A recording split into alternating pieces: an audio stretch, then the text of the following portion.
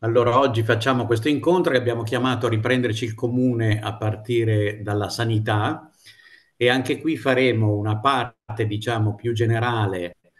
Eh, abbiamo chiesto a Edoardo Turi di Medicina Democratica del Forum Difesa della Salute di farci un uh, breve resoconto, diciamo, sul, sullo stato del Servizio Sanitario Nazionale, per poi passare alla seconda parte in cui parleremo dell'esperienza degli sportelli popolari eh, nati contro le liste di attesa.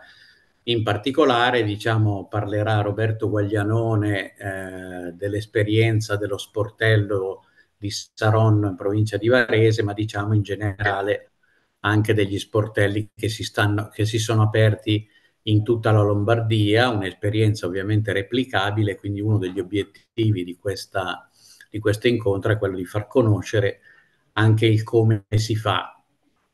Eh, io non aggiungerei altro, quindi darei immediatamente la parola a Edoardo Turi, eh, ripeto, di Medicina Democratica del Forum Difesa della Salute, che ci racconta un po' lo stato anticipo drammatico, diciamo, del Servizio Sanitario Nazionale, ma che ci aiuta a inquadrare anche poi le esperienze concrete come quelle dei sportelli popolari, in che contesto vanno a collocarsi. Quindi Edoardo, a te la parola, diciamo 20 minuti, vedi tu, insomma, eh, e poi passiamo alla seconda parte. Grazie. Grazie Marco, buonasera a tutti e a tutti. Allora, oltre ad essere un attivista di medicina democratica del Forum per il diritto alla salute, sono anche un medico specialista in igiene e medicina preventiva e dirigo da, eh, da molti anni un distretto di un'ASL romana di enormi dimensioni nella periferia di Roma, più di 200.000 abitanti senza ospedale. Mh, vengo storicamente da, per chi è più, insomma, più o meno coetaneo, da quell'esperienza importante che è stata l'esperienza del collettivo di medicina della statale di Roma, della Sapienza.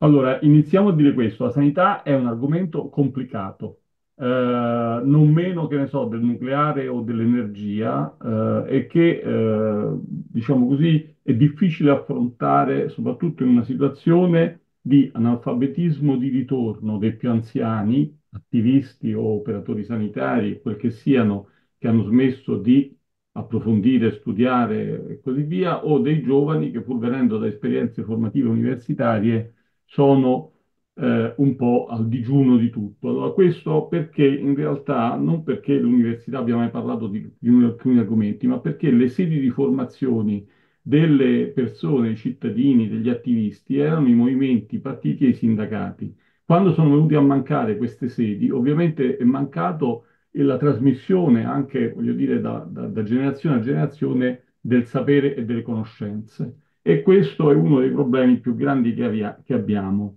Almeno io, andando un po' in giro ogni tanto a fare riunioni o comunque partecipando alle riunioni, mi sono reso conto che c'è questo problema. Allora, l'altra questione che bisogna mettere a fuoco è che la salute, è diversa dalla sanità, la sanità è l'insieme dei servizi, diciamo, la salute è la situazione collettiva o individuale in cui una persona si trova, al di là della definizione che dà l'Organizzazione Mondiale della Sanità, la salute non dipende soltanto dai servizi sanitari la, vi sono appunto determinanti salute biologici, diciamo così, l'età non dipende dalla, dalla società, eh, il genere, diciamo meglio, il genere dal punto di vista biologico è immutabile e le malattie genetiche eh, o ereditarie o la predisposizione a esse anche è una cosa immutabile. Invece i determinanti sociali della salute sono determinati dagli esseri umani dipendono da dove uno nasce, l'ambiente eh, naturale, abbiamo l'ambiente, l'inquinamento delle acque, l'inquinamento dell'aria, l'inquinamento del suolo, il reddito eh, che è indipendente anche dal lavoro, il lavoro inteso come occupazione può essere un buon lavoro o un cattivo lavoro da tutti i punti di vista, l'abitazione che è la voce che incide di più sul reddito, soprattutto per chi non ce l'ha, non l'ha ereditata, non ce l'ha di proprietà, eh, il livello di istruzione che determina a sua volta la qualità del lavoro e quindi il reddito, e infine i servizi sociali, sanitari o di altra natura. Quindi il problema della sanità è che quando la società non eh, cura, non si cura dei determinanti sociali della salute, tutto si, sca si scarica sulla sanità.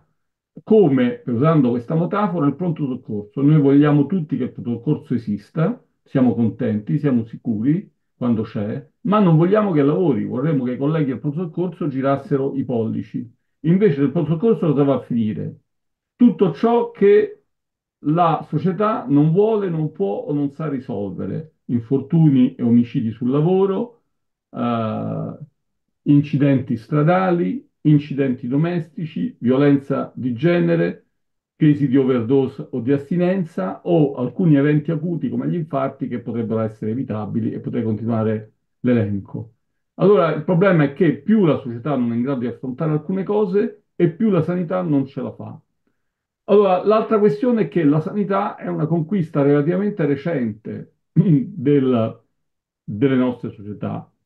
L'Italia è uno dei pochi paesi che ha un servizio, ne parleremo, universale fondato sulla fiscalità generale, ma i paesi che hanno un servizio sanitario pubblico sono pochissimi, sono meno di un terzo dell'umanità, poi in termini di paesi o in termini di abitanti, diciamo, siamo l'Europa, il Canada, l'Australia, la Nuova Zelanda, sono i paesi, paesi, insomma, i paesi che hanno un servizio sanitario eh, nazionale minimamente decente. Molti altri paesi non ne hanno o hanno delle forme private di assistenza. Allora, com'è che noi abbiamo questo sistema?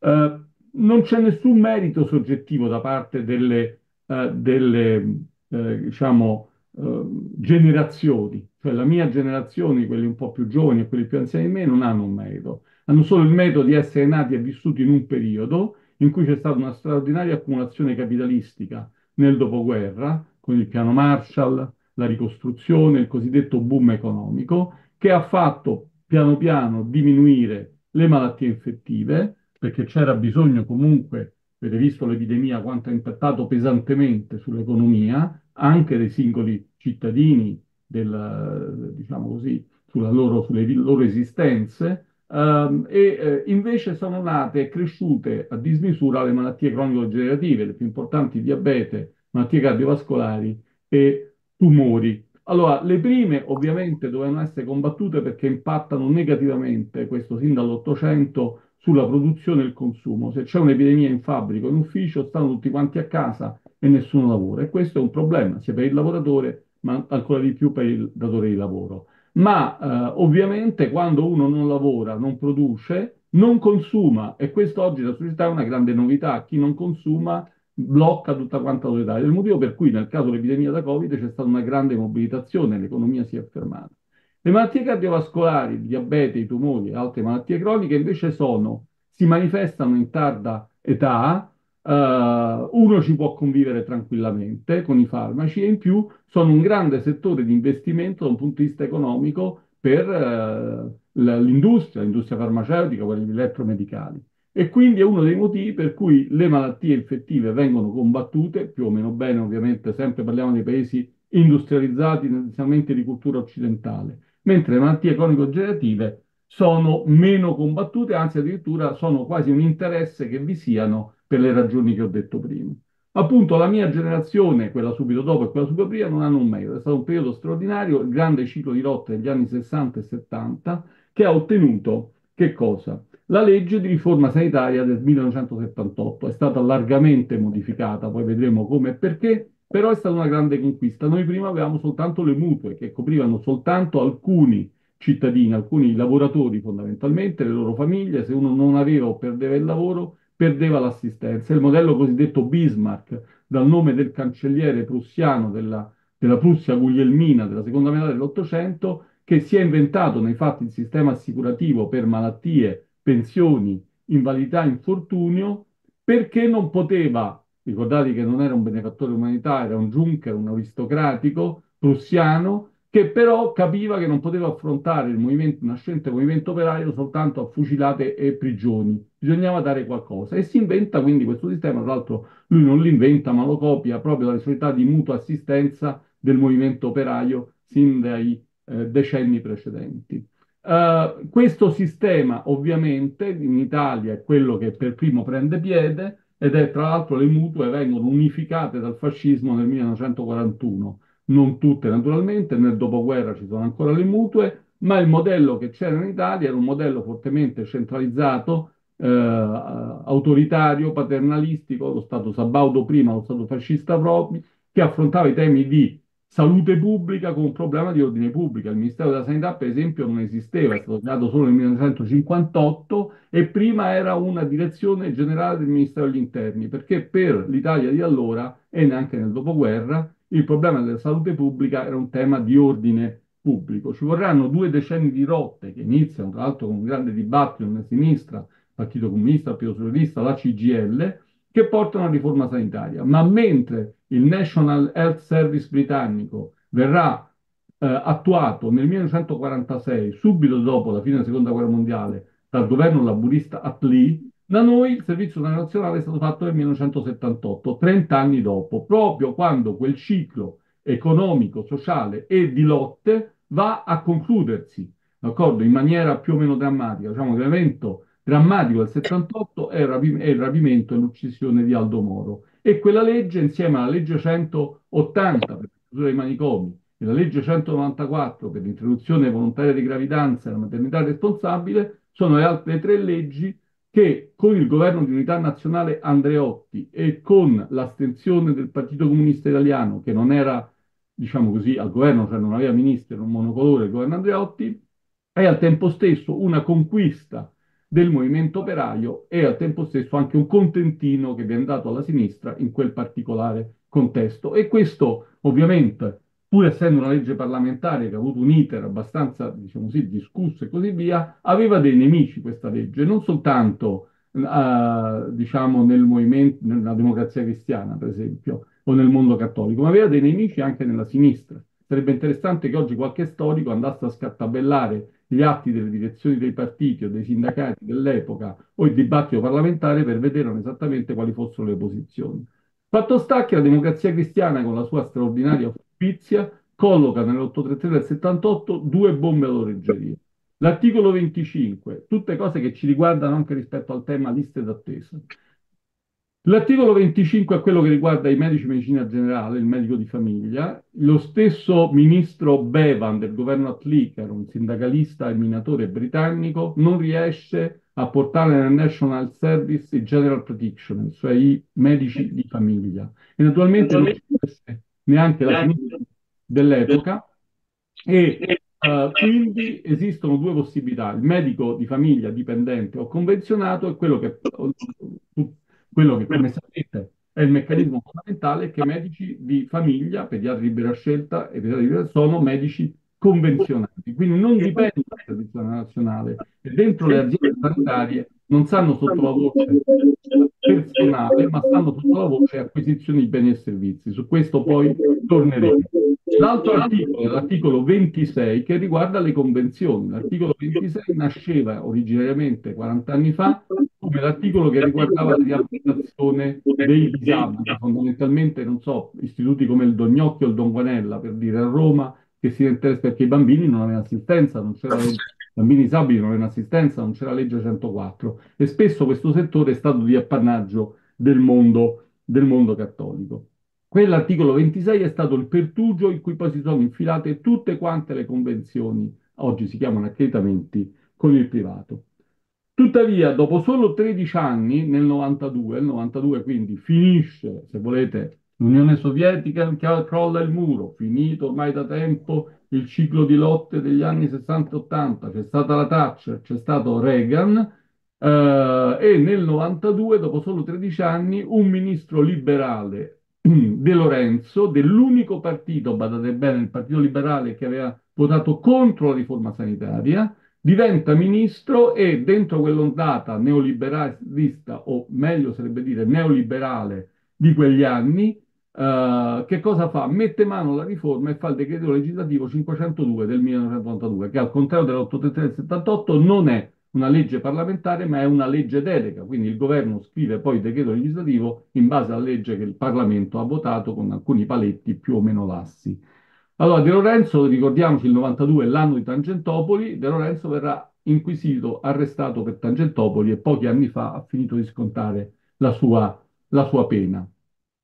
Il Partito Comunista, le sinistre, la CGL discutono di questa cosa, non fanno una vera opposizione, eh, il- nel- un anno dopo la onorevole Garavaglia, oggi nel Partito Democratico, all'epoca una democristiana, fa una mediazione, che è un decreto immediatamente successivo, si chiama il 517 del 93, e a questo punto la sinistra non fa nessuna opposizione.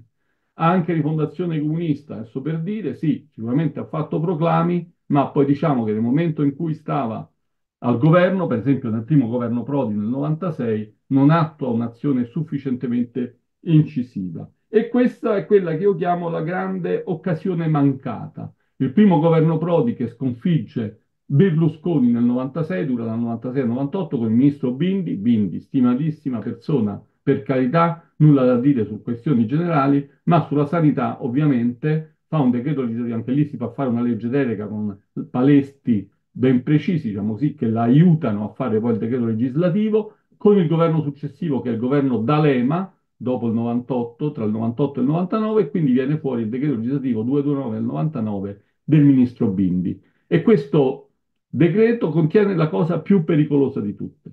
Mentre De Lorenzo ha previsto una competizione tra pubblico e privato, la Bindi invece fa proprio scrivere nel decreto legislativo che il privato, il pubblico e il privato, e in particolare il privato sociale, collaborano.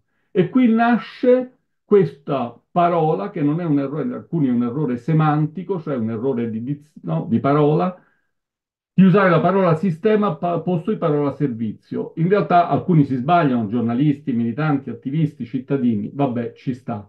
Però in realtà questo è stato ormai teorizzato dalle grandi centrali di pensiero su questo tema, eh, che sono fondamentalmente la Cattolica, l'Università Cattolica e la Bocconi, che teorizzano appunto il sistema, e alcune fondazioni private, tipo la Fondazione Ambrosetti. E appunto il sistema è la trappola in cui oggi ci siamo eh, cacciati. Del decreto legislativo 2999 ci sono da dire altre cose che riguardano l'intramenia, le assicurazioni private di integrative, ma sarebbe un po' lungo, casomai ci ritorniamo dopo durante eh, il dibattito. Uh, il decreto legislativo 502 del 92 che cosa prevedeva quello di De Lorenzo? L'aziendalizzazione, quindi un modello di tipo privatistico di gestione della sanità. Il direttore generale, che è la cosa, una, una, un organo monocratico uh, autoritario che gestisce la sanità, perché lo fa De Lorenzo? Perché lui vuole smantellare un governo democratico, pur con tante pecche, che aveva l'8 del 78, riguardo, ricordo i dibattiti all'epoca sul comitato di gestione, che era l'organismo de- deciso dai comuni per gestire le unità sanitarie locali, e lui lo sostituisce con questo direttore generale che oggi ha un potere di vita e di morte dentro le aziende sanitarie.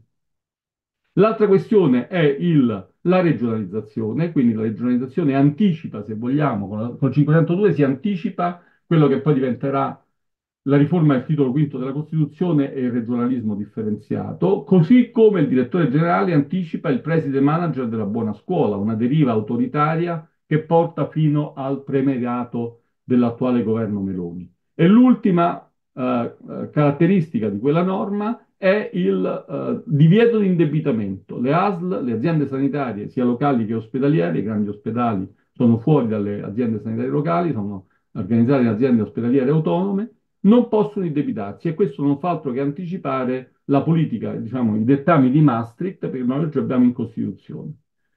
In quegli anni anche, ritornando alla Bindi, quindi al governo D'Alema, si fa la riforma del titolo quinto della Costituzione che regionalizza completamente la sanità, per cui noi oggi abbiamo 21 servizi sanitari regionali, per esempio i ticket possono essere diversi da regione a regione, le tariffe con cui vengono remunerate alcune prestazioni sono diverse da regione a regione. Ovviamente i, i servizi che vengono erogati sono diversi da regione a regione, addirittura i, calendari, i calendari vaccinali fino all'ultima normativa, la legge cosiddetta Gelli sulle vaccinazioni, erano, i calendari vaccinali erano diversi da regione a regione e potremmo continuare l'elenco. Uh, quindi quella della Bindi è un'occasione persa, ma perché persa? Qui l'accento deve andare sulle cause sociali, perché il privato, cioè la white economy, cioè gli imprenditori, soprattutto del, mondo finanziario e assicurativo, mettono gli occhi sul welfare, quindi non soltanto sanità, su tutto il welfare come una nuova occasione di profitto, cioè venuto a cessare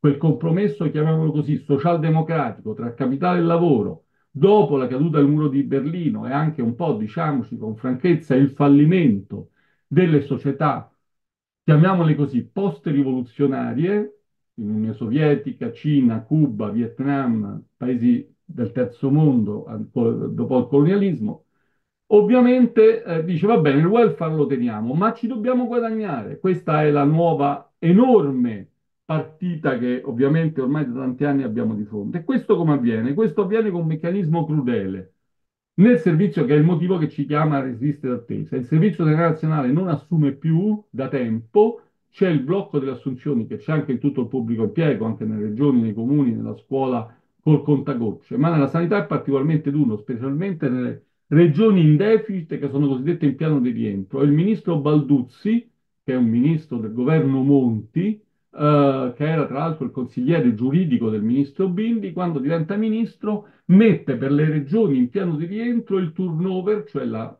cambiamento, no? la sostituzione dei dipendenti del Servizio Nazionale al 15%, cioè ogni 100 operatori che vanno via ne costituisco 15. Capite che con questa linea di tendenza tra un po' il Servizio Nazionale sarà completamente vuoto. Quindi c'è un tetto alla spesa del personale. Allora immaginatevi che le aziende sanitarie e le regioni hanno due capitoli, la sanità due capitoli di spesa importanti, che sono il personale e acquisizione di beni e servizi. Se io metto il tetto sul personale e non metto il tetto su acquisizione di beni e servizi, lì invece va a finire tutto. Tutto ciò che non riesco a risolvere, faccio convenzioni, accreditamenti, esternalizzazioni, partite IVA, consulenze e così via. Per cui oggi su base nazionale noi abbiamo il settore dell'accreditato delle convenzioni, in cui, badate bene, ci sono anche medici di famiglia, pediatri di libera scelta, alcuni specialisti ambulatoriali e, per esempio, tutte le cosiddette partite IVA largamente usate nel pronto soccorsi, e um, questa spesa è il 50% su base nazionale.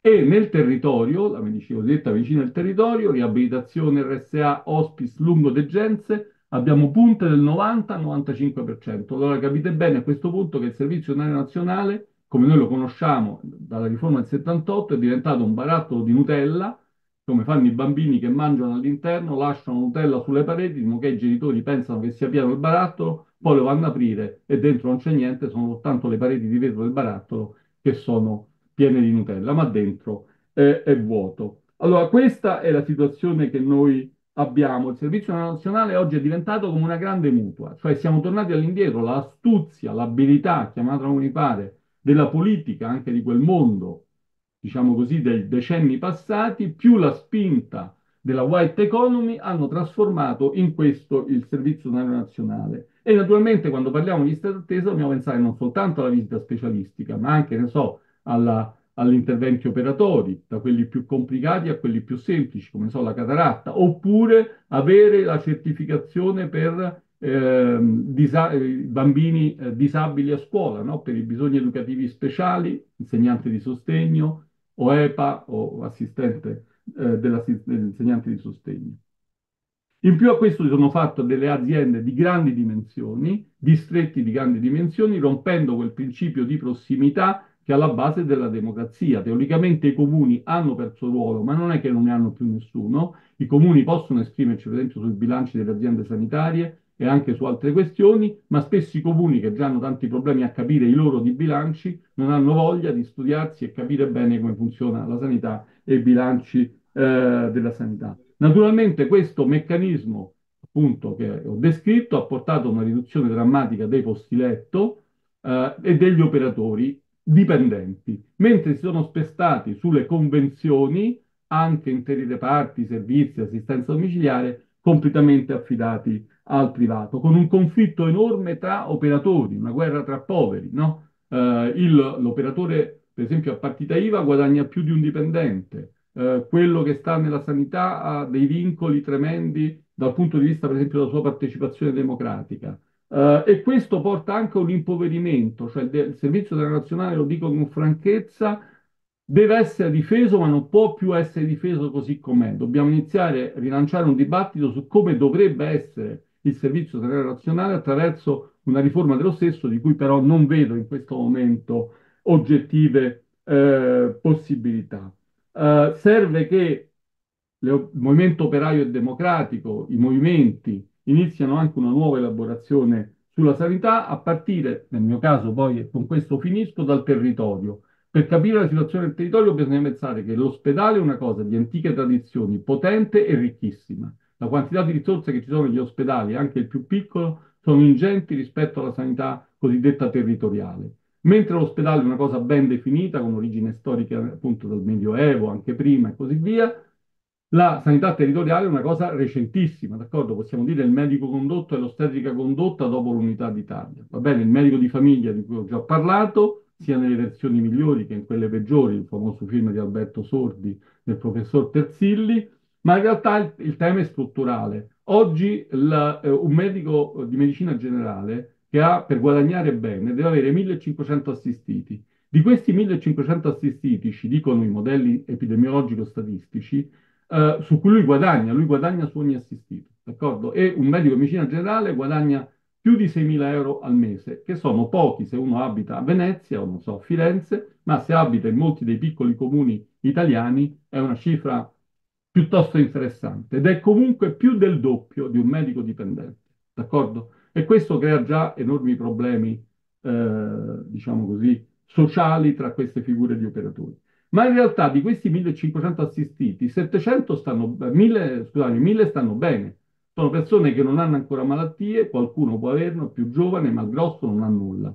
Ma i restanti 500 hanno almeno una malattia cronica e 100 di quei restanti 500 hanno più di una malattia cronica, due, e alcuni sono non autosufficienti in situazioni più gravi. Allora il medico medicina generale, di cui abbiamo detto prima, ha come obbligo, con 1500 assistiti, 25 ore di studio. Allora voi pensate che io ho 38 ore settimanali da contratto e a volte non mi bastano per fare tutto quello che devo fare. Allora capite bene che al di là del singolo valore, capacità professionale, qui non stiamo parlando del caso singolo, del singolo medico che si fa un mazzo così, diciamo che purtroppo la categoria è, difende questo modello per le ovvie ragioni anche economiche, nonché di prestigio sociale e anche di residuo di quella libera professione ottocentesca da cui il medico eh, proviene. Però ovvio che è un modello che non può tenere perché più aumenta la speranza di vita e noi siamo contenti che le persone vivano di più, è anche vero che le persone si ammalano di più quando sono più anziane e hanno più bisogno di ricoveri, eh, diagnostica eh, e eh, farmaceutica. Questo determina ulteriormente un aumento della spesa e anche quasi di impossibilità della sanità territoriale di far fronte, per cui tutto poi si scarica sull'ospedale, con un circolo vizioso che è alla base della crisi del Servizio Sanitario Nazionale. Penso di aver detto tutto, scusatemi se è stato più lungo forse del previsto, eh, però poi mi fate le domande e le osservazioni che ritenete opportune. Grazie. Grazie Edoardo per questa panoramica eh, sia storica sia attuale, anche per essere entrato nelle contraddizioni vere, no? perché spesso si dice semplicemente che eh, il servizio sanitario ha bisogno di più soldi eh, e tu ci hai fatto capire che non è solo una questione di più soldi che ovviamente ci vogliono, ma per esempio che ha bisogno di più assunzioni, perché se poi quei soldi vanno tutti all'acquisto di beni e servizi esterni, quindi all'esternalizzazione e alle privatizzazioni, eh, il gatto si morde la coda. Eh, grazie per questa panoramica. Io adesso darei la parola a Roberto Guaglianone per raccontare l'esperienza pratica degli sportelli popolari contro le liste di attesa che si sta diffondendo in particolare in Lombardia, ma non solo, e poi daremo invece spazio a alle domande, agli interventi che, che rigu- possono riguardare sia l'intervento di Edoardo, che immagino abbia suscitato eh, diverse suggestioni, sia quello che ci racconterà eh, Roberto rispetto all'esperienza concreta. Quindi darei la parola a Roberto Guaglianone. Sì, grazie, buonasera a tutte e tutti. Vi faccio innanzitutto un paio di premesse. La prima riguarda il fatto che Citerò del materiale eh, rispetto al quale poi abbiamo disponibilità a farvi pervenire ovviamente copie informaticamente parlando. La seconda premessa è che abbiamo deciso eh, nell'ultima riunione dell'equipe dello sportello SOS Lista d'attesa di Saronno di spacchettare in tre questo intervento laddove io che inizio farò sostanzialmente una storia del come siamo arrivati e, diciamo così, una contestualizzazione territoriale dell'attività dello sportello, eh, darò poi la parola a Giuliana Carugati, valente, volontaria del nostro sportello saronnese, la quale ci intratterrà proprio sulle modalità di funzionamento e sulla quotidianità del lavoro dello sportello stesso e concluderò lasciando la parola a Filippo Bianchetti che eh, rappresenta per noi sia il collegamento con la rete provinciale che con la rete regionale degli sportelli che eh, come vi dirò insomma costituiscono un altro punto di forza eh, di questa esperienza perlomeno per come la stiamo vivendo noi in Lombardia eh, da quando negli ultimi mesi è nata. Allora una brevissima Introduzione storica, eh, il gruppo, il comitato locale di Attac Saronno è attivo sul fronte eh, della sanità suo malgrado dal lontano 2008 perché in quella data ci fu il primo tentativo di privatizzazione attraverso fondazione dell'ospedale di Saronno, allora sostenuto eh, dall'assessore regionale alla sanità Alessandro C'è della Lega. Eh, per un buon decennio si è assistito a che cosa? A un progressivo depauperamento eh, di quelli che erano i servizi presenti all'interno dell'ospedale cittadino. Eh, poi è arrivato in qualche maniera il Covid dopo che qualche tentativo di proporre anche dei piani di rilancio dell'ospedale da parte della politica anche regionale era stato restituito al mittente da parte ehm, di chi governa la regione Lombardia. L'ospedale di Saronno diventa ospedale Covid durante il periodo Covid, ma ha già visto bene di chiudere alcuni reparti nevralgici, penso solo al punto nascite, tanto per citarne uno.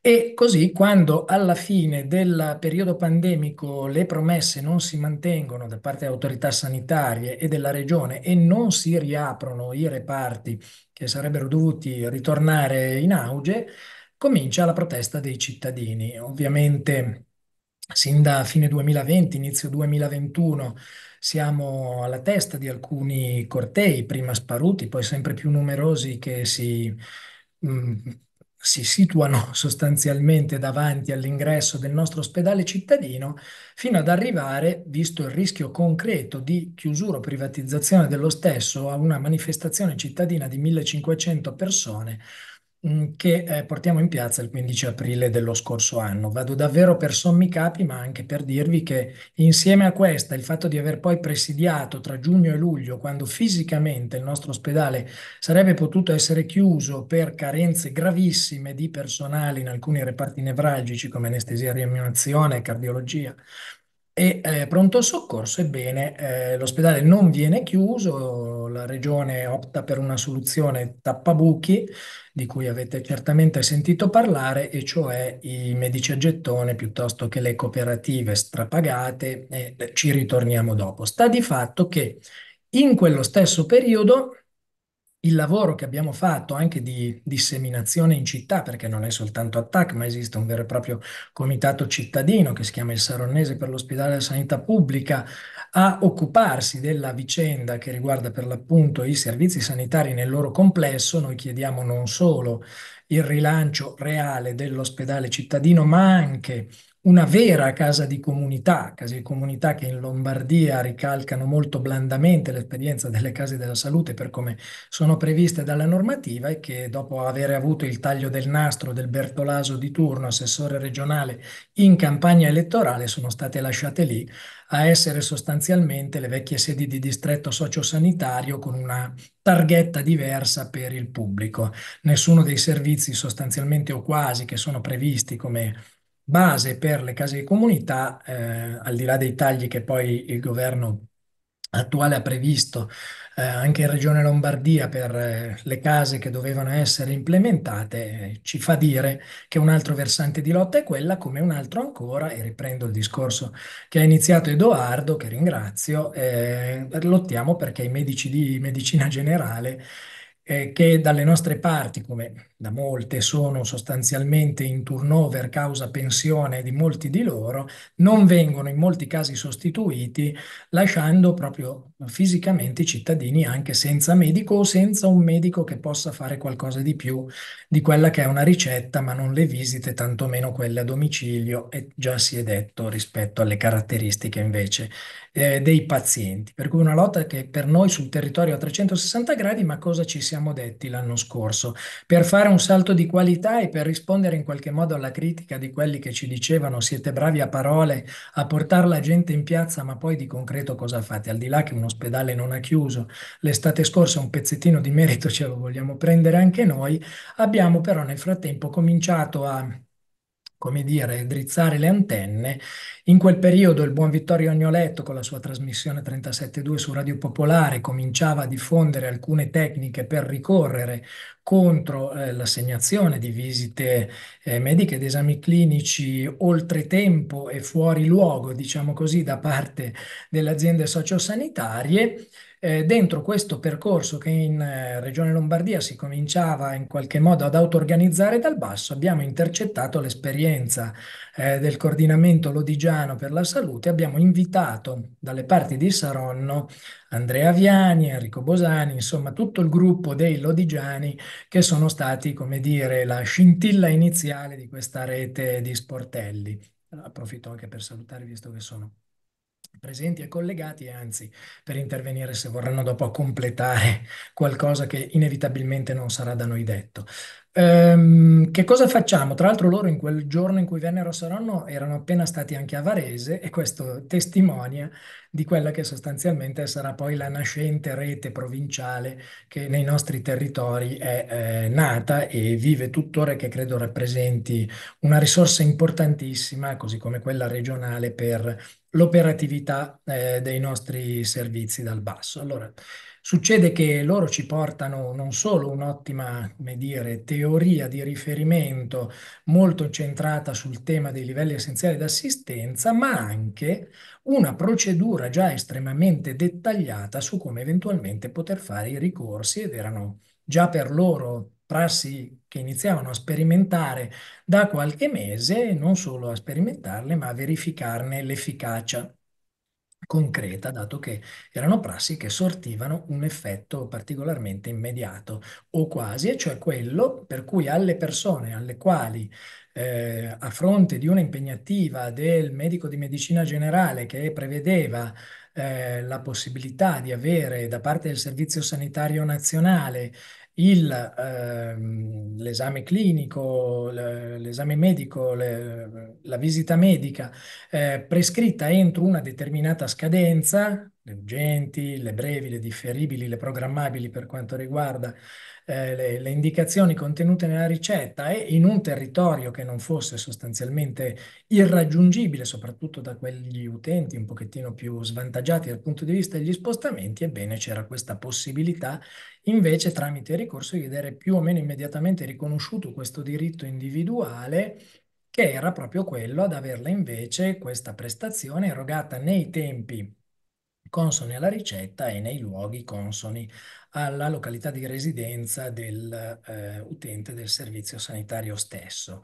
Eh, come e perché? Il perché è presto detto, eh, è perché l'azienda sanitaria che risponde eh, con un eh, appuntamento tardivo o lontano da, fuori dall'azienda, eh, dalla TS per quanto riguarda la Lombardia e quindi sostanzialmente da un confine che va un pochettino oltre quella che può essere l'azienda sociosanitaria territoriale, bene, eh, questa risposta li colloca, colloca le aziende stesse fuori legge e quindi hanno tutto, come dire, tutta la preoccupazione nel momento in cui si ricorra eh, nei loro confronti rispetto a questo tipo di indicazione fornita ufficialmente nero su bianco con un appuntamento dal CUP, dal Centro Unico Prenotazioni o del territorio di riferimento, spesso collocato come Saronno avviene presso l'ospedale, o da parte di quello che è il Centro Unico Prenotazioni informatizzato o telefonico che ad esempio esiste in Regione Lombardia e che fornisce poi in forma scritta quello che è l'appuntamento, spesso a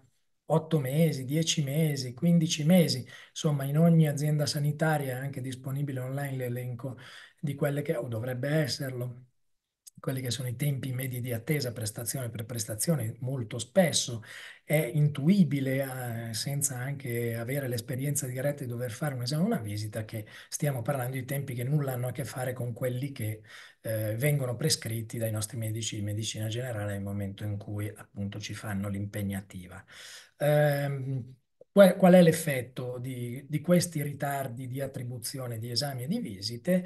Che molti cittadini e cittadini A rinunciano a curarsi perché non hanno fisicamente le risorse per farlo, in quanto l'alternativa sarebbe ricorrere alla sanità privata con dei costi che variano dalle 3 alle 5 volte quella che è una prestazione eh, che si può esigere invece eh, pagando il massimo ticket, 36 euro nell'ombre per quanto riguarda gli esami e eh, per quanto riguarda le visite sostanzialmente siamo sempre intorno ai 22,50 euro, questa è la tariffa che c'è da noi, ma in alcuni casi anche maggiore, mai maggiore di 36 euro. Comunque, dall'altra parte, eh, il privato, vi faccio un esempio molto semplice che eh, proprio è fisicamente aggiornato, eh, la sanità privata che sul nostro territorio offre prestazioni sempre maggiori, guarda caso proprio dove ci sono state le dismissioni di quelli che sono stati i reparti e le prestazioni in generale offerte dall'ospedale locale, arriva a far pagare, penso ad un'ecografia alla spalla molto banale,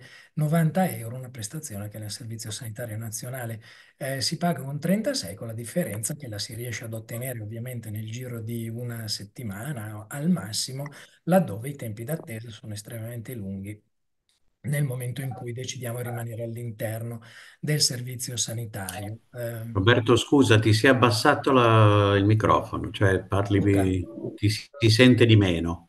Ah, perché io sto parlando allo stesso livello di voce e allo stesso bene, vai, Comunque dai. mi avvicino e fammi sapere se la cosa persiste, così io cerco di tenere un tono di voce alto e una distanza inalterata dal microfono. Grazie.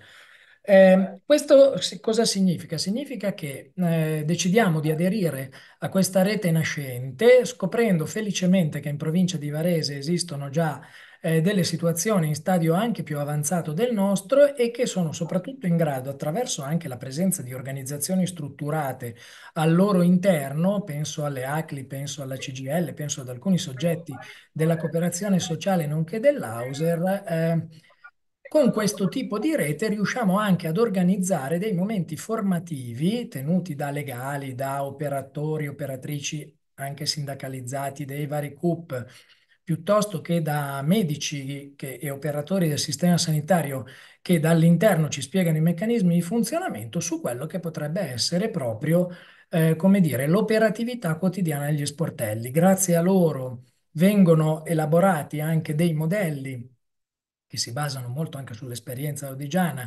dei eh, ricorsi che possono essere fatti e che sono di tipologie differenti, di questo magari vi parlerà eh, Giuliana successivamente, e con questa strumentazione e soprattutto con delle sedi fisiche che anche grazie alla presenza delle reti di cui vi parlavo sopra è stato possibile eh, avere eh, fisicamente presenti sin da subito sul territorio, riusciamo a far partire con l'inizio di novembre del 2023 una serie di situazioni eh, che sono per l'appunto gli sportelli in provincia di Varese che si vanno ad affiancare a quelli in quel momento esistenti in provincia di Lodi, nascenti anche in provincia di Milano. Oggi siamo quasi ad una quarantina di sportelli, poi sarà Filippo a dire Mm, il dato più aggiornato in tutta la Lombardia, il dato che accomuna tutti quanti noi è quello che, a fronte di uno sforzo per avere una sempre più comune ed univoca documentazione, metodologia eh, di lavoro e, eh, come dire,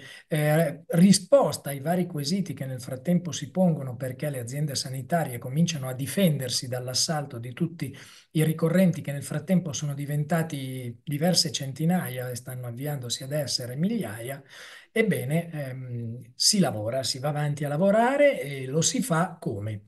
Nel singolo sportello, con una singola equipe, una piccola equipe di persone, eh, noi siamo aperti, faccio il nostro esempio, ma innumerevoli sono le differenze, un giorno a settimana, prossimamente due nel momento in cui riusciremo ad avere anche un supporto ulteriore di volontari che stiamo acquisendo in questa fase.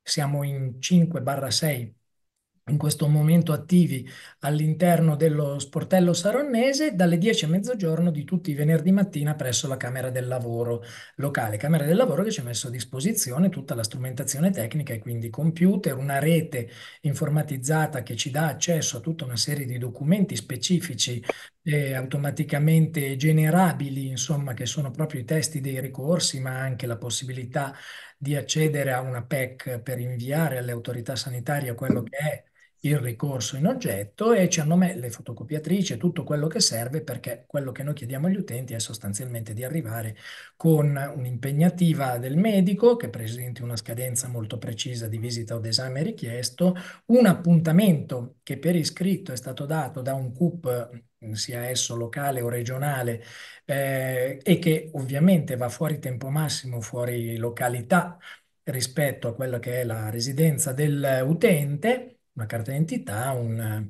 tesserino sanitario. Con questo in una ventina di minuti circa, poi si vede un po' a seconda della complessità, eh, i volontari presenti in sportello riescono ad organizzare un uh, ricorso. Eh, io mh, non mi trattengo oltre sulla questione di come funziona lo sportello, ripeto perché lo farà già qualcuno eh, dopo di me, vi dico soltanto che le altre caratteristiche che in qualche modo ci stanno eh, attraversando in questo tipo di esperienza sono sostanzialmente quella di avere comunque pubblicizzato la presenza dello sportello, inizialmente più tramite passaparola o tramite le serate pubbliche in cui noi cerchiamo di far capire alla popolazione locale che le lotte sono collegate, sono le lotte per l'ospedale e per i servizi sanitari territoriali e la lotta che portiamo avanti anche attraverso eh, gli sportelli. E, attraverso questi canali, come dire, la conoscenza della presenza dello sportello è man mano cresciuta grazie anche alla presenza appunto delle reti, quindi della CGL, delle ACLI, degli altri soggetti che sono presenti nei territori e che hanno provveduto ad informare anche i loro tesserati in qualche modo. I cittadini vengono infine avvisati perché a Saronno abbiamo trasformato la continuità della mobilitazione della nostra lotta per i servizi sanitari in una eh, serie di giornate che chiamiamo giornate per la sanità pubblica. Siamo arrivati alla decima, la prima l'abbiamo fatta esordire al primo weekend di marzo di quest'anno e ogni sabato mattina c'è un appuntamento fisso nella piazza centrale di Saronno dove noi siamo presenti con un gazebo unificato gestito da Sportello, da Tax Saronno e dal Comitato Cittadino sostanzialmente per l'ospedale e la sanità pubblica in cui viene pubblicizzato tutto l'insieme delle iniziative che vengono sostanzialmente fatte sul territorio e eh, questo riteniamo essere un veicolo di pubblicizzazione importante. Vado a concludere dicendo che, ma ci tornerà, io credo presumibilmente Filippo, l'importanza che diamo ai nostri ricorsi non è quella soltanto di avere il riconoscimento di un diritto individuale, ma è quella, e qui la rete diventa importantissima dal punto di vista territoriale, di avere anche dei numeri con i quali sia possibile andare a dimostrare che determinate prestazioni sono so sostanzialmente deficitarie all'interno di quella che è l'erogazione di servizi prevista dall'azienda sociosanitaria del territorio e quindi di avere l'opportunità di andare a fare le pressioni che anche Edoardo ricordava prima, pensiamo ai sindaci, ma anche direttamente nel rapporto con le direzioni generali generali delle aziende stesse perché la nostra legge regionale, pur, pur, essendo particolarmente poco favorevole agli utenti, un po' di più ai vertici eh, sanitari eh, del territorio, consente comunque di arrivare fino addirittura alla richiesta delle dimissioni di un direttore generale che fosse eh, ripetutamente inadempiente rispetto alla erogazione di alcune prestazioni all'interno dell'azienda che, eh, che dirige. Quindi la forza dei dati aggregati diventa particolarmente importante. Vi do solo qualche numero, ma volante, perché li abbiamo appena finiti di redigere, perché li stiamo raccogliendo a livello provinciale e anche eh, maggiore. Saranno in questi cinque mesi abbiamo fatto ormai praticamente quasi 100 ricorsi. Solo in cinque casi l'esito è ancora sospeso ed incerto, in tutti gli altri è arrivata una risposta affermativa, quindi l'efficacia eh, della, come dire, dello strumento del ricorso sia dimostrata tale per cui la visita o l'esame clinico che sono stati richiesti eh, e che avevano avuto inizialmente risposta da parte del CUP aziendale, eh, diciamo così, a babbo morto, è invece magicamente stata ripristinata all'interno dei luoghi e dei tempi che erano previsti dalla prescrizione medica. Questo ovviamente è il frutto del fatto che il ricorso costringe le aziende a mettere in piedi, eh, come dire, liste aggiuntive di disponibilità di appuntamenti per i medici o per chi si occuperà poi di effettuare gli esami strumentali non è un caso che eh, una, circa 25 ricorsi sono ancora in sospeso rispetto alla risposta e sono proprio gli ultimi avvenuti nelle ultime tre settimane, perché i tempi di risposta che noi avevamo dall'azienda sanitaria, che inizialmente addirittura in giornata o al massimo in tre giorni, a ricorso fatto ci dava la risposta affermativa sull'accoglimento del ricorso, adesso può impiegare fino a 20-25 giorni, perché stiamo cominciando davvero a mettere in crisi un sistema totalmente deficitario dal punto di vista della presenza di personale e o di macchinari all'interno delle nostre aziende sanitarie affinché possano effettivamente rispondere per tempo dentro il Servizio Sanitario Nazionale a quella che è sostanzialmente la domanda che arriva sempre più pressante da parte degli utenti.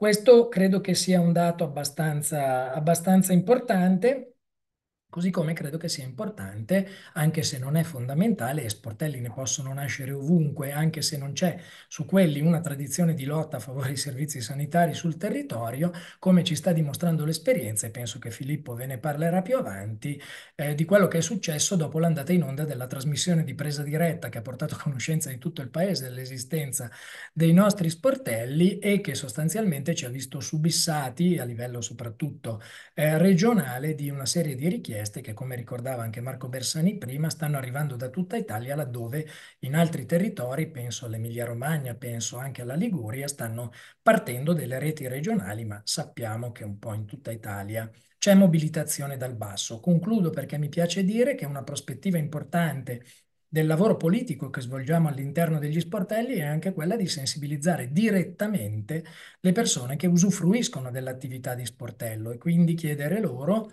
o di affiancarci addirittura come volontari o di partecipare comunque alle iniziative che sul territorio vengono portate avanti sul tema della sanità. Mi taccio perché sono già andato lungo rispetto ai tempi che mi ero prefissato, come vedo anche dallo sguardo severo del Marco Bersani, e do la parola a Giuliana per l'attività dello sportello. Poi se non ti spiace Marco la riprendo io per ridarla a Filippo e in chiusura Filippo la ridarà direttamente a te. Grazie. Ciao a tutti, io sono una dei cinque volontari, sono Giuliana Carugati, sono una dei cinque volontari eh, che fanno parte, eh, che lavorano sullo sportello eh, liste d'attesa di Saronno. Molte cose del nostro, del nostro lavoro le ha già anticipate, l'ha già anticipate eh, Roberto, mh, mm, per cui io sicuramente non sforerò i tempi, sarò molto più succinta. Vi, vi parlo praticamente della nostra esperienza che eh, si è, è, ha avuto inizio eh, verso, eh, verso, la fine, ufficialmente, diciamo così, verso la fine di novembre del 2023. Siamo partiti abbastanza in sordina, anche perché lo sportello era ancora abbastanza sconosciuto. Noi stessi, noi operatori, stavamo ancora facendo eh, la formazione che abbiamo fatto eh, a Varese, eh, ci siamo un po' costruiti strada facendo.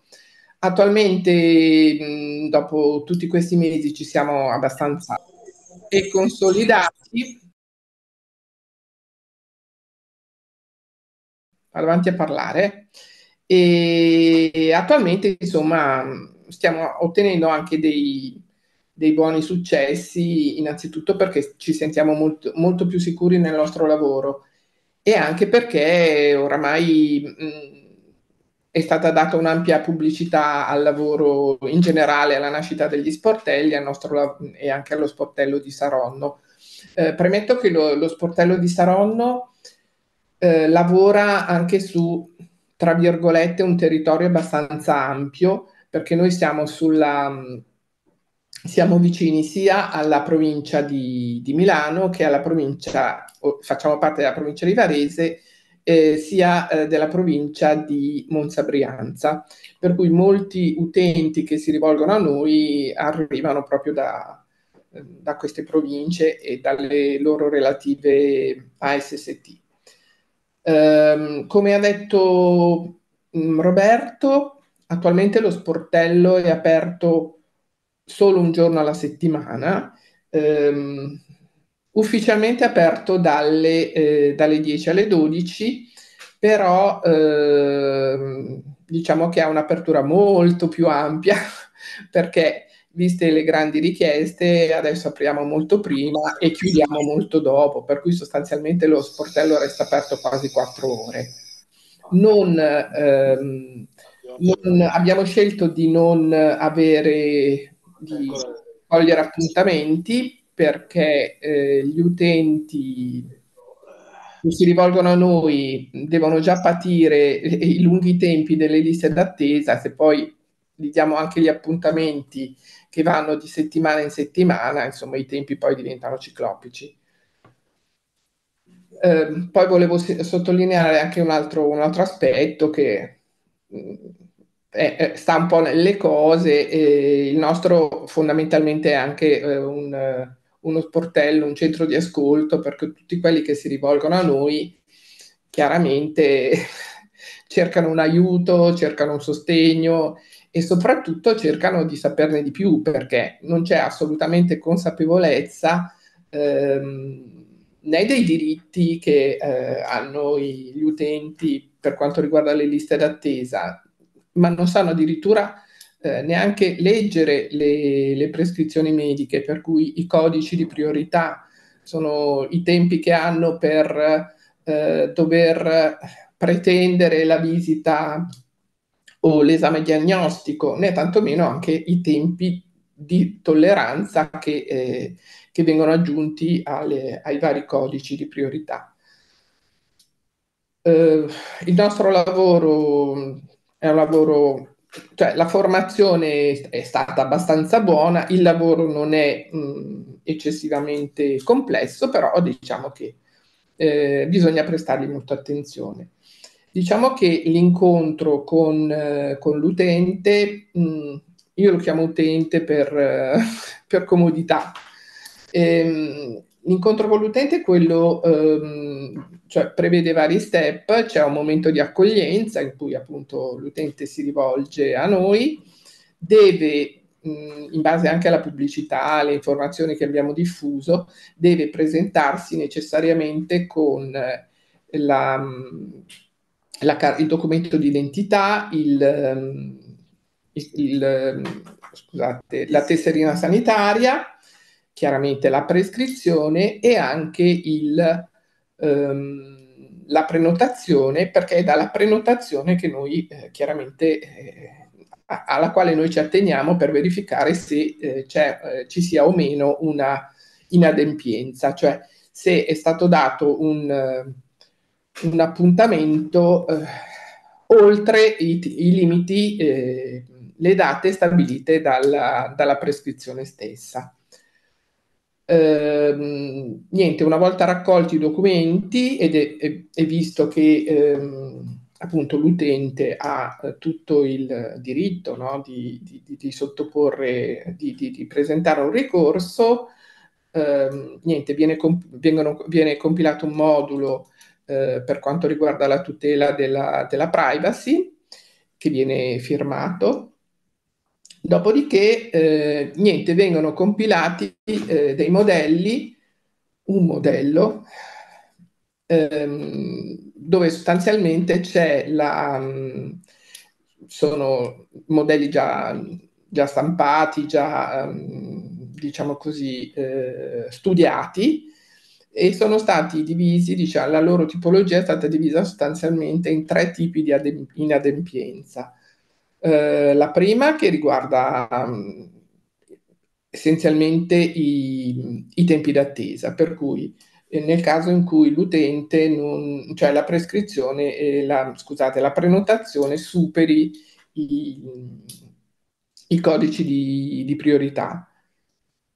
Ehm, la seconda riguarda invece il, il l'ambito del territorio di garanzia, per cui nel caso eh, eh, l'utente si, vedesse, eh, si veda mm, fissato un appuntamento oltre la nostra, in un territorio diverso dalla nostra ASST o comunque dalla sua ASST di, di residenza, e il terzo è, diciamo, quello in cui non, ehm, non c'è nessun tipo di appuntamento.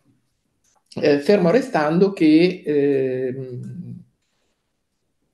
che eh, la risposta che molto spesso purtroppo viene data agli sportelli, ai, scusate, ai CUD, eh, è proprio quello che, eh, quella delle, delle, agende chiuse, ehm, che eh, è un'adempienza assolutamente, diciamo così, illegale, che non può, non può esistere.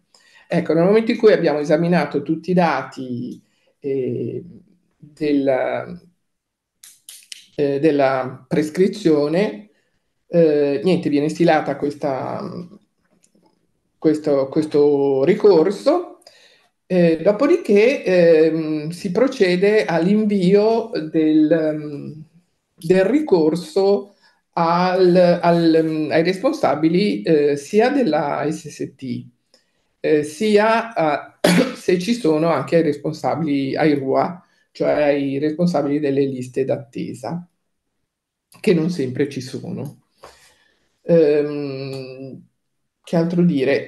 Viene, viene um, appunto inviato questa, questo, questo, ricorso uh, con una PEC.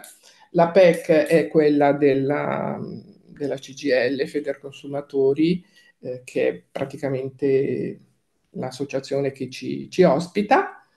E, mh, nel momento in cui, scusate, nel momento in cui appunto viene inviata, si attende che ci sia la risposta eh, da parte della, de, di, di, coloro a cui l'abbiamo inviata, per cui sostanzialmente quello che dicevo prima. Ne viene inviata anche una copia per conoscenza alla, all'utente e dopodiché si allega il, la risposta della, alla PEC, si allega alla, al ricorso, eh, quindi dandone una copia al, al, all'utente e dopodiché si attende che, che, che, il ricorso possa avere un'accoglienza. Come diceva prima Roberto, è... Eh, i tempi eh, inizialmente sono stati molto, molto, molto veloci, quasi sbalorditivi, ehm, attualmente si sono un attimino più allungati, però eh, nel, nel, circa nel 98% dei casi, almeno per quanto concerne l'esperienza eh, dello sportello di Saronno, ma credo che sia una cosa abbastanza comune a tutti gli, gli sportelli della provincia di Varese, i ricorsi vengono accolti. Um, l'affluenza ovviamente è, è, aumentata molto rispetto ai primi tempi, appunto eh, per effetto del, della pubblicità e l'eco che è stato dato anche su mass media. Eh, diciamo che eh, ci sono sempre eh, delle criticità per cui ci stiamo ancora formando e queste cri- criticità riguardano soprattutto ovviamente ehm, le liste d'attesa, che in realtà non esistono, comunque le liste d'attesa che riguardano i, eh, le strutture private convenzionate. Ecco, diciamo che quello è un, un settore dove non, ci, non, abbiamo molte sicurezze, ci stiamo muovendo un po' così uh, a tentativi, però purtroppo rappresentano insomma un grosso problema anche perché eh, il numero verde della regione Lombardia eh, provvede a, eh, a, a, fissare delle, ehm, dei, degli appuntamenti presso queste strutture. E, però non sempre queste strutture, niente, innanzitutto sono raggiungibili e, e poi non sempre queste strutture, cioè agiscono in, in, maniera, in maniera, corretta. Eh, che altro dire? Mm, facciamo appunto la situazione, cioè eh, la nostra attività ehm, non è molto, non è com- molto complicata, anche perché adesso appunto ci siamo impratichiti, eh, però diciamo che anche la situazione è molto in movimento, per cui molto spesso ci troviamo di fronte a delle dei casi che non abbiamo mai avuto prima. Ed è importante comunque, eh, nonostante i supporti, eccetera, è molto importante il confronto che abbiamo anche in maniera abbastanza continua, sia con i nostri amici e formatori della provincia di Varese che eh, del, di Varese, che anche, ci siamo rivolti anche al, ad Agnoletto, eccetera, eccetera, per avere così dei sostegni in questo senso.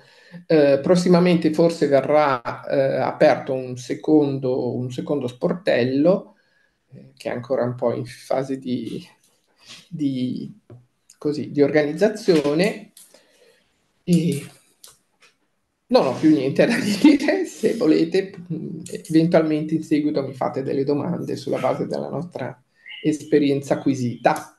Grazie. Grazie Giuliana, io do subito la parola a Filippo Bianchetti, animatore degli sportelli in provincia di Varese, nonché prezioso supporto nella rete regionale lombarda. Prego Filippo.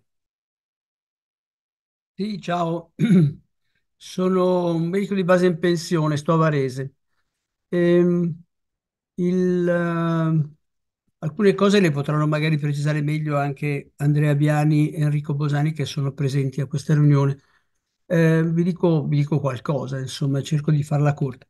Eh, beh, il coordinamento regionale lombardo, eh, coordinamento lombardo sportelli salute, questo è il nome, ha un sito, una mail e ha, come è già stato detto, ha ricevuto molte richieste di aiuto e di chiarimento da parte di singoli, di gruppi ehm, da tutta Italia e eh, sulla spinta dell'esempio lombardo sono già formati dei coordinamenti regionali scusate, in Veneto, in Emilia-Romagna e in Liguria e sono in corso contatti un po' con tutte le regioni.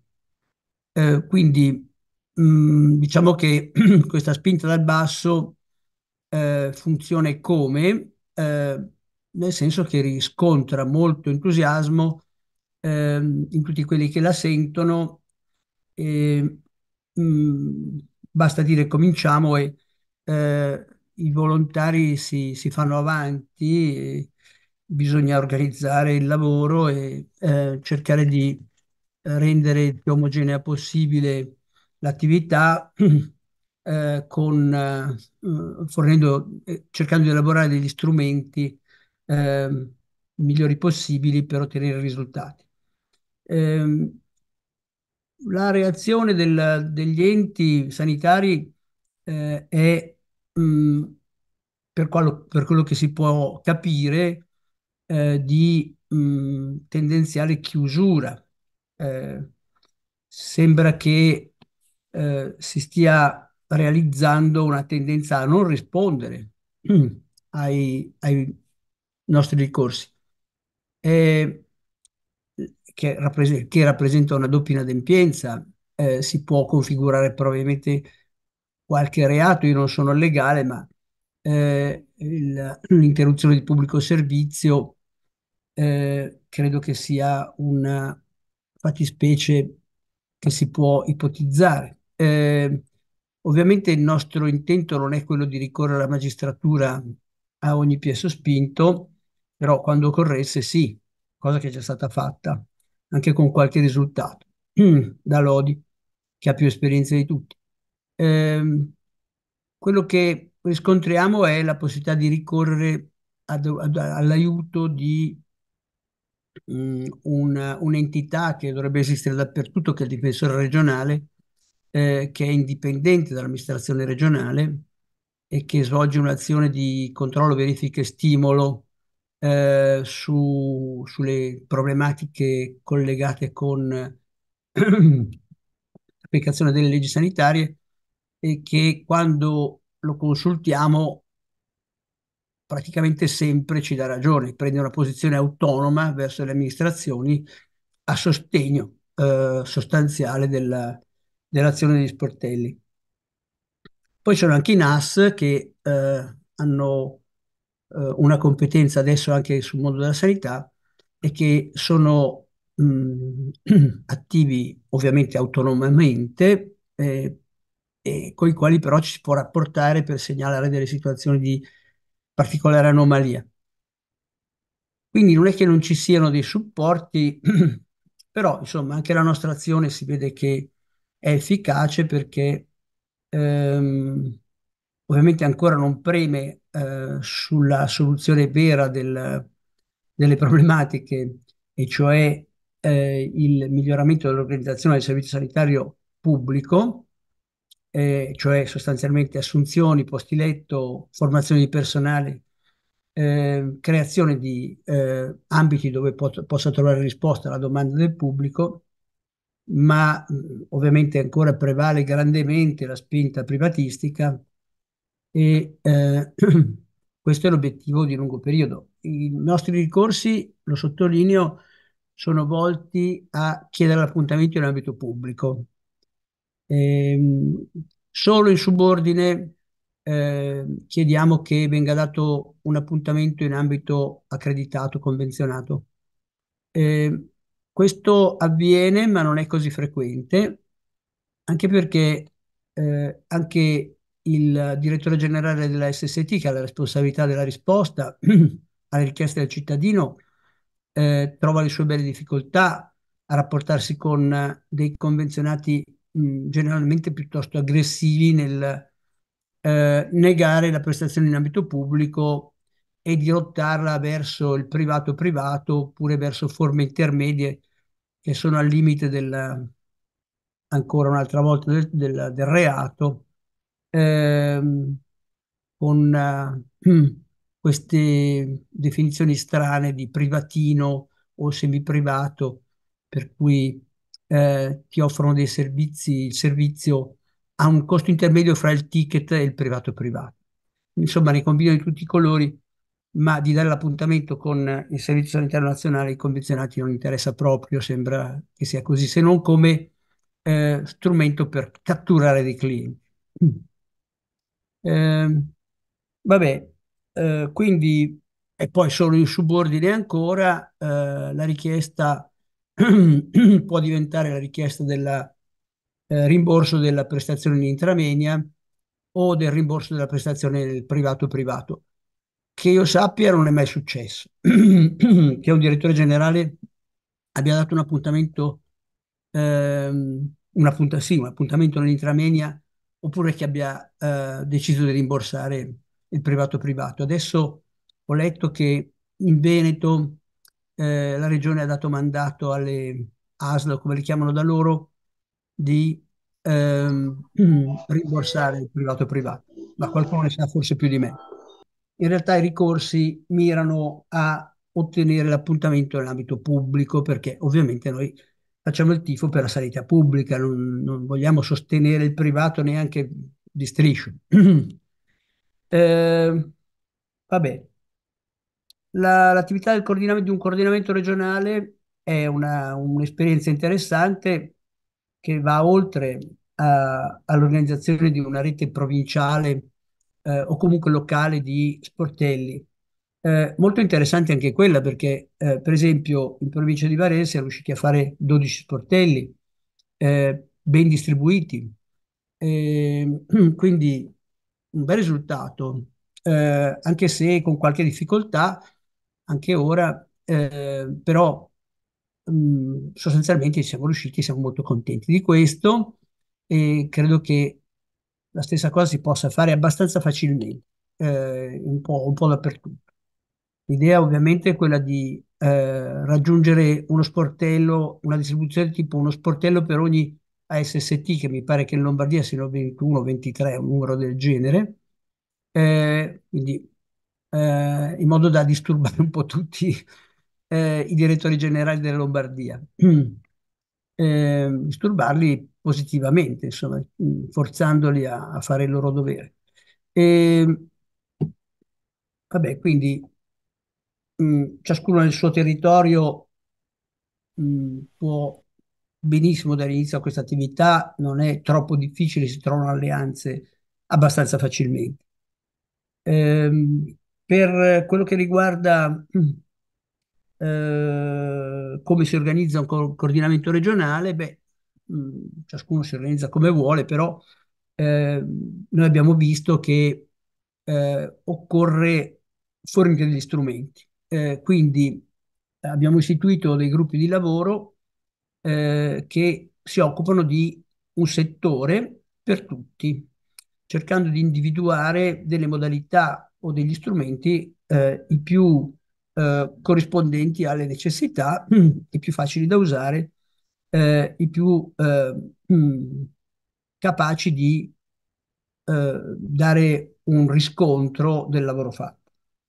Eh, per cui abbiamo creato un gruppo mh, moduli, modulistica, nel senso di eh, cercare di individuare i moduli in uso che non sono affatto uguali in tutti gli sportelli, eh, studiarli e ehm, mh, valutare quali sono le soluzioni migliori, moduli per fare ricorsi evidentemente,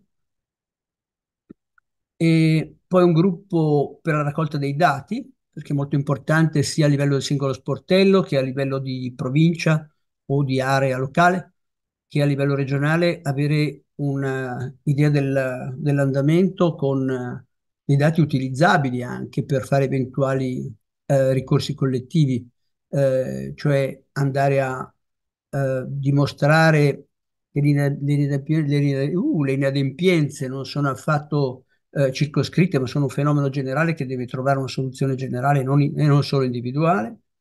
Ehm, abbiamo creato un gruppo problemi perché i problemi ne sorgono e eh, quindi individuarli e studiare delle soluzioni le più efficaci, le più semplici eh, da proporre a tutti, eh, ci sembra un compito molto importante perché poi altrimenti il singolo volontario allo sportello si ritrova il problema, non sa come fare e si arrabatta in qualche modo, però questo arrabattarsi in qualche modo ha dato luogo già a diverse invenzioni che sono molto utili da condividere. Eh, poi stiamo cercando di costruire un gruppo di supporto legale in Lombardia eh, che sia di riferimento per tutti i gruppi di cui ho detto, perché ognuno di questi, in particolare comunque il gruppo problemi, eh, ha eh, grande giovamento da confrontarsi con eh, il parere dei legali che si dedichino a questa attività. Ehm, non c'è una struttura ehm, gerarchica o eh, non ci sono cariche, si lavora in modo trasversale e orizzontale, eh, facendo periodicamente delle assemblee generali di tutti gli sportelli che servono a dare linee generali a, al lavoro eh, di tutti. Eh, per chi vuole, eh, ovviamente, l'adesione ai consigli che vengono dal coordinamento è tutto volontaria. Ehm, perché è volontariato puro questo, ciascuno eh, interpreta questa cosa un po' alla sua maniera ed è bene anche perché, ripeto, la fantasia eh, dei singoli è molto fertile. Io non credo di dover dire altro, rimango qua e vi raccomando di fare qualche domanda anche a Andrea Viani e Enrico Bosani che sono qui, che sono molto più bravi di me nell'esporre questi aspetti. Ciao. Eh, bene, grazie a, a, al trittico che ci ha raccontato come si fa uno sportello, come si coordina, come si eh, rapporta ai cittadini e cittadine. Diciamo che abbiamo mezz'ora, non di più, di eh, possibilità di interventi. C'è Giorgio Ferrari che ha alzato la mano da un po'. Giorgio. Grazie, buonasera a tutti e tutti. Mi sentite innanzitutto? Sì, ok. Allora, io faccio parte del coordinamento regionale sanità del Lazio che si è formato sei anni fa circa. Comunque, ehm, pensionati, lavoratori e lavoratrici su base volontaria, ovviamente, eh, i temi di, di, cui ci siamo occupati molto spesso insieme a Edoardo e agli altri compagni eh, riguardavano sia la salute eh, senso più largo che i problemi della sanità. Eh, sarò velocissimo, non, non, non, voglio assolutamente sottrarre tempo. E, ehm, ci siamo occupati come tema specifico particolare, per esempio, della condizione ehm, amministrativa, diciamo così, di quelle persone migranti che non hanno accesso diretto alle, alle strutture sanitarie, diciamo pure al servizio sanitario nazionale, quindi per permessi di soggiorno, queste cose qui, quindi una complicazione, spesso sono anche persone che occupano unità abitative, quindi che vivono determinate condizioni, questo come tema. e poi altri temi, non sto a elencarli tutti, ma in particolare, insomma, quello sull'aspetto su cui volevo intervenire era quello delle liste di attesa. E è stato illustrato ampiamente da, eh, per quanto riguarda la Lombardia, che tipo di attività viene fatta lì con gli sportelli. Noi l'abbiamo cominciata diciamo, se non, se non subito, quasi subito, quindi sicuramente cinque anni che ci occupiamo di questa questione esattamente nei termini in cui è stata descritta, e cioè facendo conoscere questa legge nazionale, la 124 del 98, su cui sostanzialmente si basa la possibilità di fare ricorso in stretto collegamento, questo ci tengo a sottolinearlo, con quelle che sono innanzitutto il piano nazionale di gestione delle liste d'attesa e poi i piani regionali che traducono regione per regione gli indirizzi del piano nazionale di gestione delle liste d'attesa. Eh, vanno sempre letti insieme perché eh, insomma ci sono parecchi riscontri. Eh, abbiamo iniziato mh, stilando, avevamo stilato un piccolo vademecum eh, che illustrava eh, come comportarsi quando appunto viene dato un appuntamento fuori dei tempi massimi e i tempi massimi sono quelli fissati dal piano nazionale e recepiti. Sostanzialmente non ce n'è uno che abbia derogato da quei giorni fissati nel piano nazionale da tutti i piani regionali di gestione delle liste d'attesa questo Vadumecum spiegava come comportarsi, quindi c'era anche alla fine di questo Vadumecum un, un modello di ricorso da riempire e trasmettere via PEC, via mail, eh, ovviamente, e, e questo Vademecum eh, che ha sì dato dei risultati positivi, ma numericamente eh, scarsi, perché per quanto noi insomma ci sforzassimo, siamo uno, numericamente limitati, siamo operativi sulle 6-7 persone, non di più, anche se poi complessivamente potremmo considerarci un po' di più. E per quanto ci sforzassimo di distribuirlo presso le ASL o anche altri luoghi come i mercati rionali dove solitamente eh, si incontrano tante persone, le, il riscontro poi, non, ma proprio perché il mezzo, abbiamo capito, non, non è di quelli immediatamente fruibili. Le, si perdono spesso i foglietti, voi lo sapete, chi ha fatto insomma, distribuzione militanza sa che spesso che fine fanno, non gli si dà troppo critico il fatto di doverli leggere, insomma, eccetera. E allora a fine anno abbiamo concepito di fare un video che spiegava sostanzialmente, che spiega anzi sostanzialmente quello che c'era scritto nel Vademecum.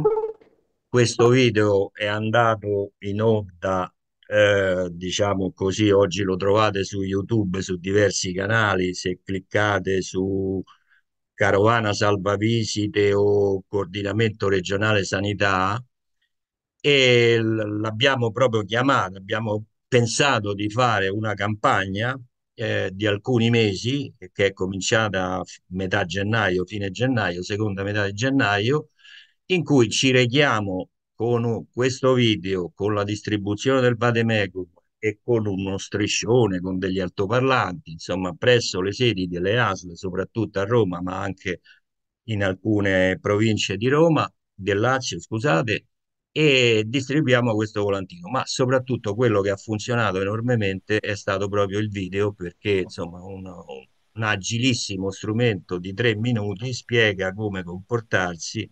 Questo video ha avuto una grandissima diffusione anche sopra le nostre aspettative e anche Giorgio, noi oggi chiederei di chiudere se poi eh. molti altri inter interventi.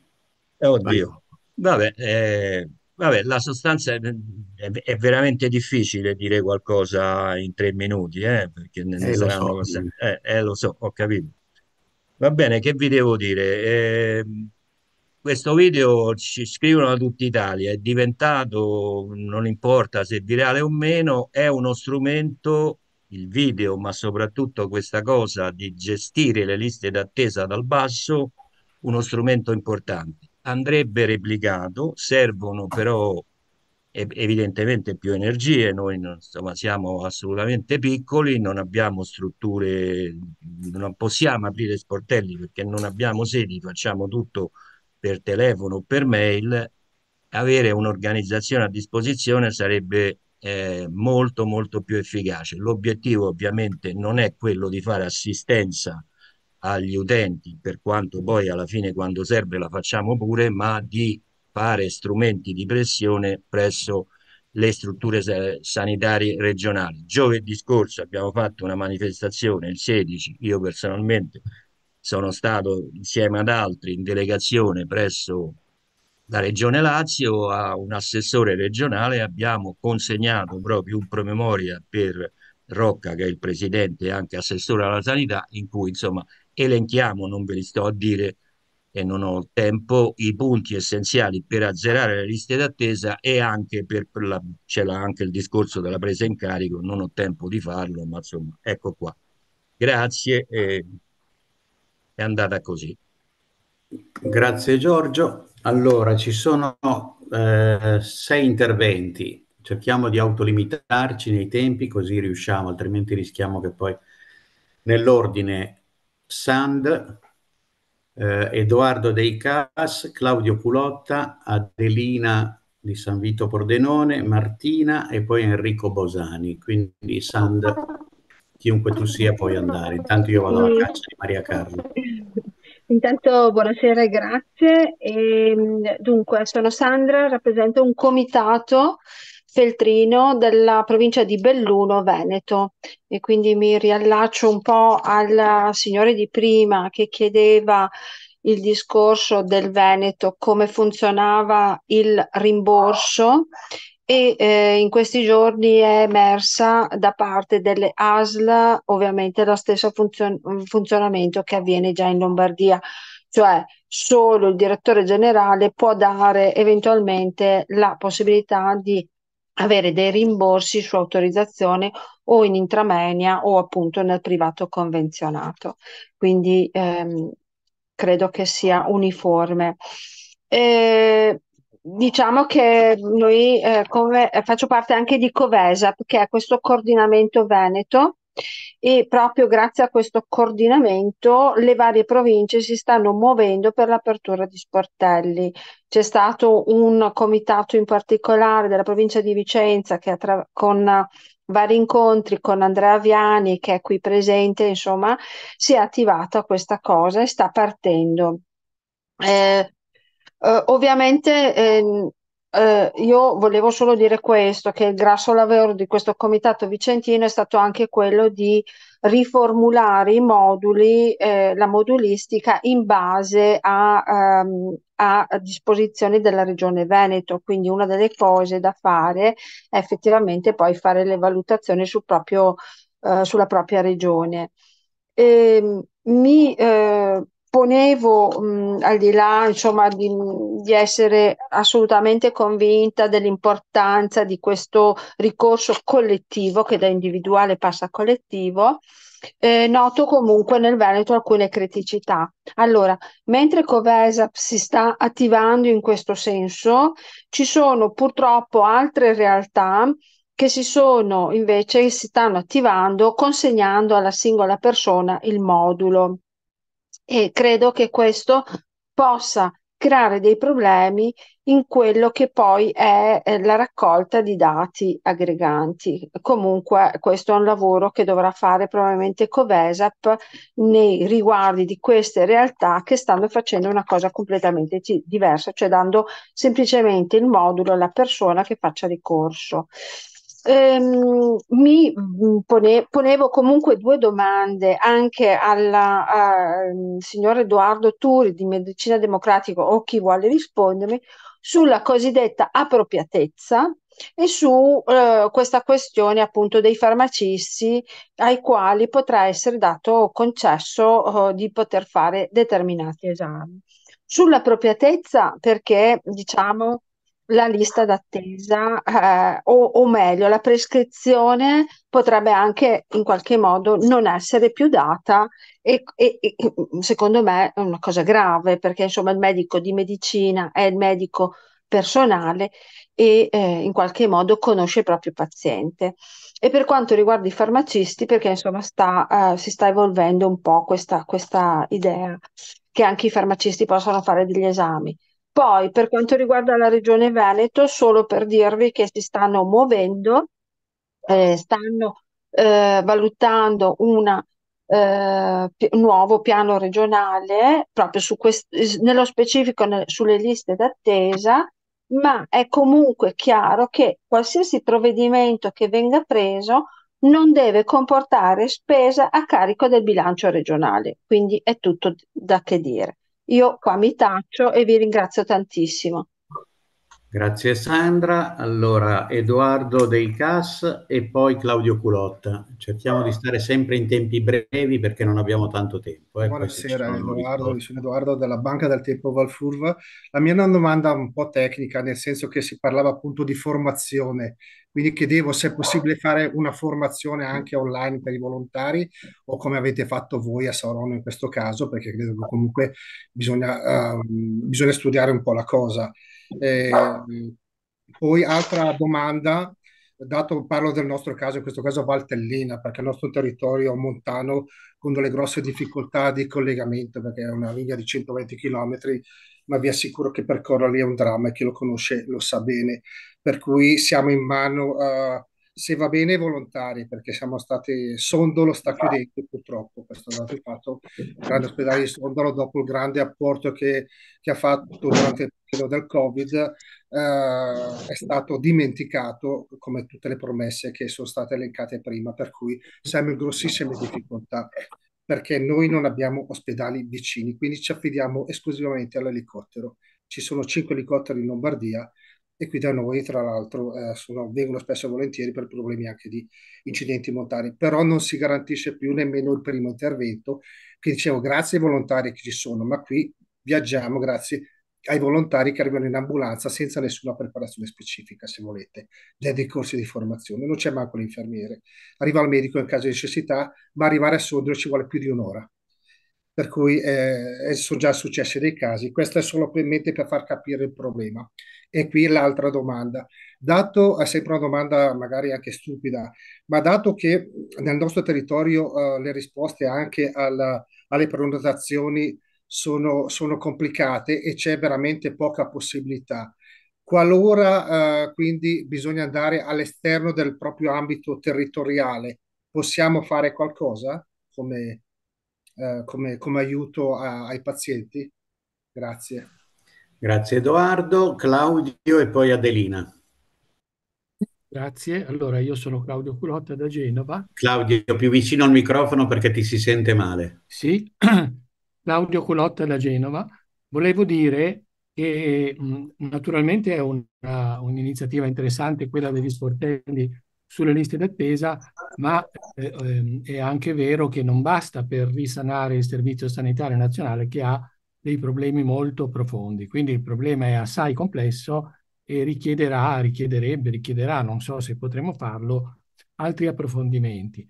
E volevo però dire che la legge 833 del 78, che naturalmente definiva un buon modello di servizio pubblico, basato sulla prevenzione, naturalmente, oltre che diagnosi e cura, eccetera. Nella sua applicazione, prima delle leggi 502, 517 e 229, non era esente da criticità. Ad esempio, sovrapposizione fra funzioni politiche e funzioni gestionali, mancanza di controllo di gestione e mancanza, oserei dire quasi assoluta, di responsabilizzazione dei dirigenti a partire dai dirigenti medici, ma anche amministrativi, riconoscimento dei costi a piedi lista, pagamento dei ricoveri ospedalieri in base alle giornate di degenza. Per alcuni ricoveri sì, c'erano 30 e più giornate di degenza, assolutamente incongrue. Ora, l'aziendalizzazione di per sé non è un fatto negativo, intendo dire non è un fatto negativo di per sé, in quanto comporta un controllo di gestione e una responsabilizzazione dei dirigenti rispetto, quindi anche i dirigenti medici, no? soprattutto, rispetto a costi e risultati. In un altro ambito, per esempio la gestione dei servizi idrici o dei trasporti, noi mi pare che affermiamo che le aziende pubbliche municipalizzate, purché siano ben gestite, sarebbero eh, opportune. E, invece l'esternalizzazione, cioè l'acquisto di prestazioni dal privato, oppure... Claudio, cerca di andare al, al succo del ragionamento. Sì, arrivo, perché... ho finito. Vai. I gettoni, gli straordinari, è un reale pericolo, così come tutte le forme di conflitto di interessi, libera professione intramenia, secondo pilastro assicurativo, eccetera. Sono tutti meccanismi che favoriscono e finanziano la sanità privata. Quindi credo che ehm, una valida riorganizzazione delle cure primarie, cioè le case della comunità, ospedali di comunità, infermieri di famiglia o di comunità, potrebbe, credo, spero, ecco, che realmente ra possa rappresentare un contributo positivo, eh, come del resto avviene in, alcune regioni, per esempio ci risulta qui in Liguria che in Toscana Emilia-Romagna, e anche eh, in altri paesi esteri come Portogallo e Brasile, e come è stato affermato, ma da decenni, da decenni, dall'Organizzazione Mondiale della Sanità, eh, per esempio Alma Ata nel 1978. E chiudo, scusate così la fretta, ma... Ok, grazie. Grazie Claudio. Scusate, ma io devo fare un po' la parte antipatica, perché ovviamente questa è soprattutto una giornata di formazione. Ovviamente c'è spazio alla discussione, ma poi i tempi sono quelli che sono. Allora io adesso ho segnato anche chi ha chiesto la parola, non prendo più interventi perché sennò ci troveremo poi a parlare in 4-5. Allora adesso c'è Adelina, poi Martina. Eh, cerchiamo di tenere dei tempi accettabili. Chi deve fare domande fa domande, chi deve dire dei concetti dica il concetto magari senza troppi, troppe cose intorno, magari ce le diciamo un'altra volta le cose intorno. Adelina? Ecco, scusate la voce ma l'influenza. E allora grazie a tutto e passo all'argomento. Noi qui eh, intanto rassicuro il compagno di Roma che il video è arrivato anche qua in Friuli e l'abbiamo visto ed è molto interessante e noi stiamo cercando, a San Vito al Tagliamento a 15.000 abitanti, un mandamento di 40.000, è inserito nella provincia di Pordenone e, e tutta la provincia, in tutta la provincia ricade un'azienda sanitaria. L'organizzazione è totalmente diversa dalla Lombardia, ovviamente, ma non, te- non c'è tempo di parlare. Però nel, nella regione ci sono tre aziende sanitarie e ogni azienda sanitaria gestisce le liste d'attesa a modo suo, con delle procedure che da qualche volta sono chiare, altre volte non sono chiare. Per la nostra esperienza del Pordenonese, eh, ci troviamo, e infatti è questa la domanda che volevo farvi, eh, uno scoglio, che hanno messo eh, questo parametro che è la richiesta di attivazione della procedura di garanzia sia effettuata entro quattro giorni. Ma naturalmente eh, questo per esempio non potrebbe eh, avvenire, cioè se fossimo con i vostri sportelli che sono aperti una volta alla settimana, molte persone non potrebbero usufruire eh, di questo servizio. Allora io vi chiedo, mh, mm, si stanno facendo gli sportelli presso la CGL? oltre a quello che riusciamo a fare noi come attivisti del comitato. Vi chiedo se a voi risulta, forse Turi mi può aiutare, oppure voi che avete più esperienza e già siete così ben organizzati, se un limite di questo genere sia legale oppure no. Perché eh, io non, non l'ho riscontrato nella legge regionale che gestisce le liste d'attesa. E perché, come diceva qualcuno, si parte dalla nazionale, ma poi ogni regione delibera per conto suo. E niente, vi chiedo questo. In Grazie Adelina. magari ci confrontiamo su, sulle metodiche. Grazie. Grazie Adelina. Martina, poi Enrico Bosani. Eh, sarò velocissima, vi risparmio che cosa sta succedendo in provincia di Sondrio, ma stanno nascendo diversi sportelli. che ognuno va un po' per conto suo. La mia domanda era rivolta agli operatori eh, di Saronno piuttosto che al coordinamento regionale ed è relativo al problema della privacy. Come trattate mh, eh, l'accesso e l'eventuale conservazione eh, di parte della pratica ai fini del conteggio dei dati? Grazie. Grazie Martina, Enrico Bosani, poi c'è Gina De Angeli. Enrico? ciao, ciao a tutte e tutte, io darò alcune risposte. La prima è per la formazione. L'abbiamo fatta, la facciamo, siamo disponibilissimi a fare la formazione ed è abbastanza semplice da fare. Abbiamo costruito un manualetto operativo che ci dà una mano sotto questo punto di vista, quindi eh, si, si riesce a farla abbastanza semplicemente. La seconda cosa che volevo dire è questa. Lo sportello è uno strumento fondamentale, importantissimo e fortissimo ed è lo strumento che serve alla popolazione, alle persone, a vedere rivendicato il proprio diritto alla salute. La distribuzione dei moduli non è efficace perché lascia la persona da sola.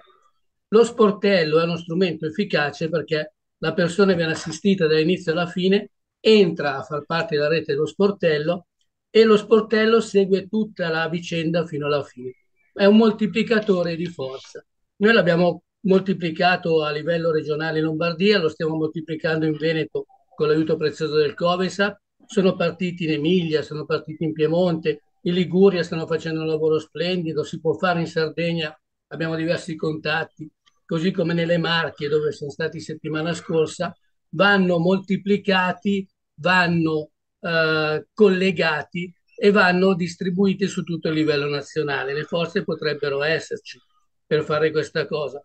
Soprattutto è importante sapere che eh, quello che stiamo facendo lo facciamo sulla base della Costituzione, delle leggi nazionali, ma soprattutto dei livelli essenziali di prestazione e dei livelli, e dei livelli essenziali di assistenza, i LEA e l'EP, che sono delle leggi di norma costituzionale e sono assolutamente rivendicabili. Le, le aziende sanitarie non ci danno risposta perché sono buone, è perché non possono fare altrimenti e potrebbe diventare uno strumento fortissimo. La privacy, noi abbiamo costruito, nel manualetto c'è tutto, un modello di liberatoria per la privacy che è efficace ed efficiente e possiamo utilizzarlo eh, dovunque. Teniamo presente che il diritto, anzi il diritto, la possibilità di rivendicare il proprio diritto in modo individuale e collettivo è tutelato dalla, Costituz- dalla Costituzione anche lei. Quindi gli sportelli non devono avere alcun tipo di uh, veste giuridica. Le persone si mettono insieme, rivendicano il proprio diritto individuale, cosa fondamentale, il diritto collettivo. Noi facciamo anche ricorsi collettivi, abbiamo cominciato a farli a breve a breve a ottobre avremo anche una, uh, un passaggio in tribunale per il primo che abbiamo fatto, perché è importante che si tuteli il diritto della persona, ma è fondamentale che si tuteli il diritto collettivo alla salute. Possiamo farlo tutti insieme, il mio invito è quello. Ciao ciao. Grazie Enrico. Allora Gina e poi Patrizia Ciccanti. Gina De Angeli. Sarò brevissima, raccolgo il tuo invito. Allora, un, soltanto un'informazione. Oggi parte la campagna contro le liste d'attesa che abbiamo lanciato a livello toscano. Io faccio parte del coordinamento della salute e che si chiama SASSE Salute, Sanità, Ambiente. Perché abbiamo partecipato? Perché, per, proprio perché abbiamo lanciato la campagna, abbiamo trovato interessante tutto quello che avete detto. Il tempo è breve perché io credo, primo, che bisogna metterci in rete e scambiarci il materiale. Noi abbiamo prodotto manifesti, abbiamo prodotto opuscoli, è inutile fare l'elenco, ve li spediamo, siete interessati e noi siamo interessati ad avere il vostro materiale. Seconda questione, c'è un fatto importante, se le questioni delle liste d'attesa sono regolate in parte da leggi nazionali, sarebbe importante capire come si muovono le varie regioni, perché la regione toscana attua misure che sono diverse da quelle della Lombardia. Per cui la sintesi è scambiamoci il materiale, rimaniamo in rete e vediamo se da questo lavoro che stanno partendo a livello regionale, ma c'ha un respiro nazionale, possiamo arrivare una, alla scadenza unitaria per mettere al centro questa questione delle liste d'attesa che poi mette al centro una parte dei problemi della sanità pubblica. Grazie e chiudo. Grazie Gina, Patrizia Ciccanti, poi Rino Tortorelli, poi basta e darei la parola a Edoardo Turi e a Roberto Guaglianone nel caso ci siano altre domande su, che, non, che, non, hanno avuto risposta. Quindi sì. eh, Patrizia e poi Rino. Mi sentite? Sì. Buonasera. Eh, allora, mm, due domande. Eh, quando l'azienda non risponde alla PEC, primo, dobbiamo, eh, va, reiterata la richiesta, va reiterata la PEC o va, eh, si procede direttamente eh, con la magistratura o e questa è una domanda secca così.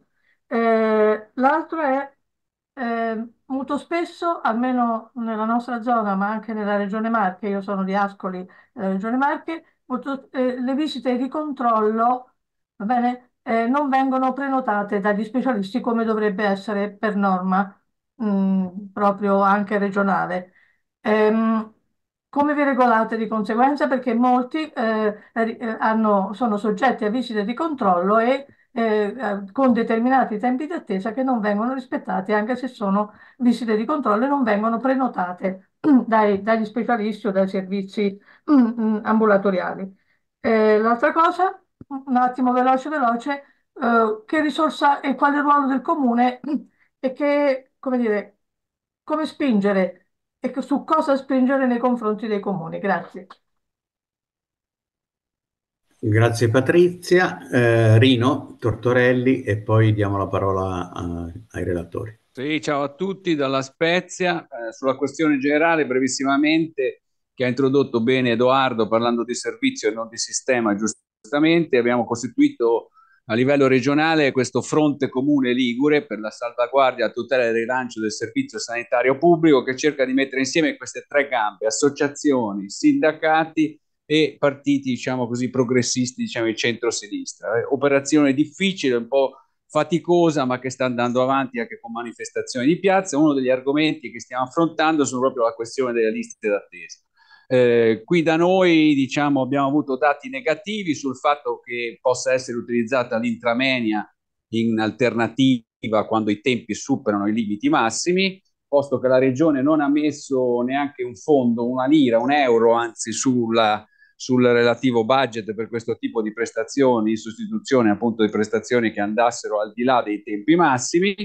Abbiamo chiesto l'intervento del difensore civico che è uscito pubblicamente, ma ciò nonostante non è servito assolutamente a niente.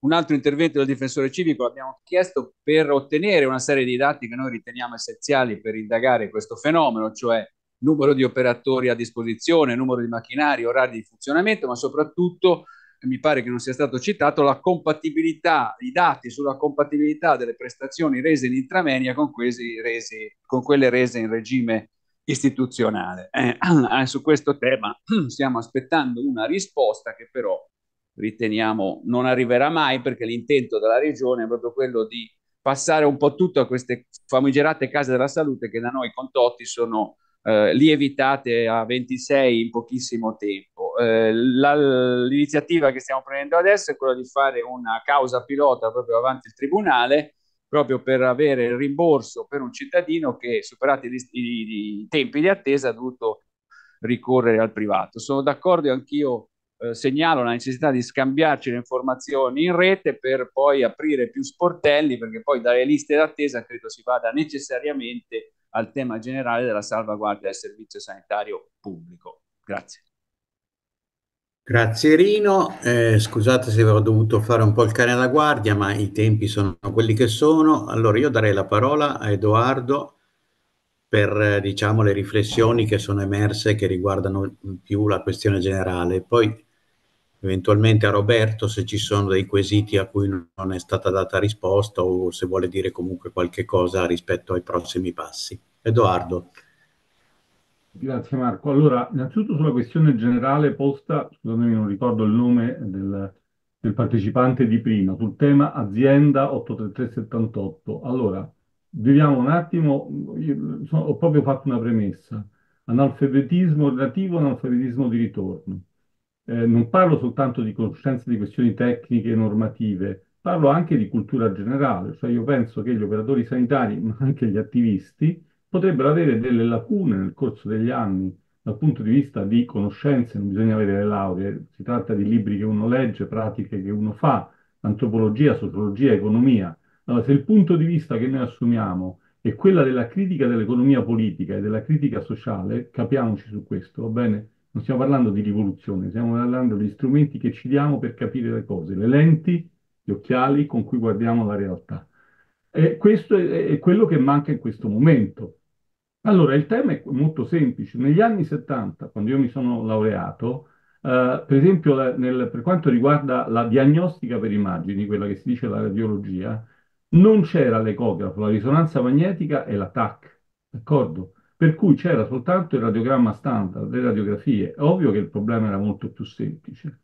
Altra cosa che non si era prevista, che quello straordinario eh, processo, potremmo chiamare una rivoluzione industriale tardiva, dopo la, la seconda guerra mondiale, il boom economico, ha prodotto un grande cambiamento della società e il più grande cambiamento è che la speranza di vita si è allungata. Nessuno aveva previsto questa cosa, ma quando la si- aumenta la speranza di vita, oggi siamo arrivati a 80 per gli uomini, 85 per le donne, un anno in più, un anno in meno, non è questo il tema, ma prima non era così. Negli anni 70 eravamo a 65-70 anni, d'accordo? E questo non è tanto e soltanto la medicina, ma le migliori condizioni di vita, il lavoro, il reddito, la casa, l'alimentazione, l'attività fisica e naturalmente anche i farmaci, la diagnostica e gli ospedali.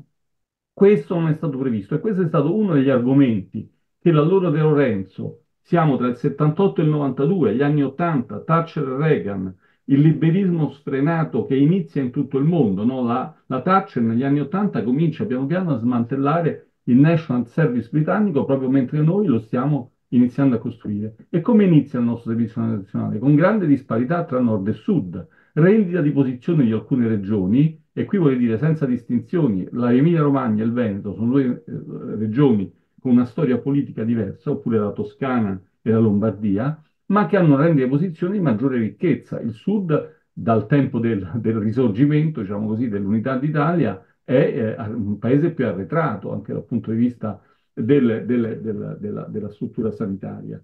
E questo noi è l'eredità che abbiamo, che, su cui De Lorenzo si inserisce. E anche il tema dell'azienda, lasciamo perdere il termine, il problema è la gestione. Come ho detto prima, il direttore generale normalmente in un'azienda privata un consiglio di amministrazione con un presidente, risponde al consiglio di amministrazione.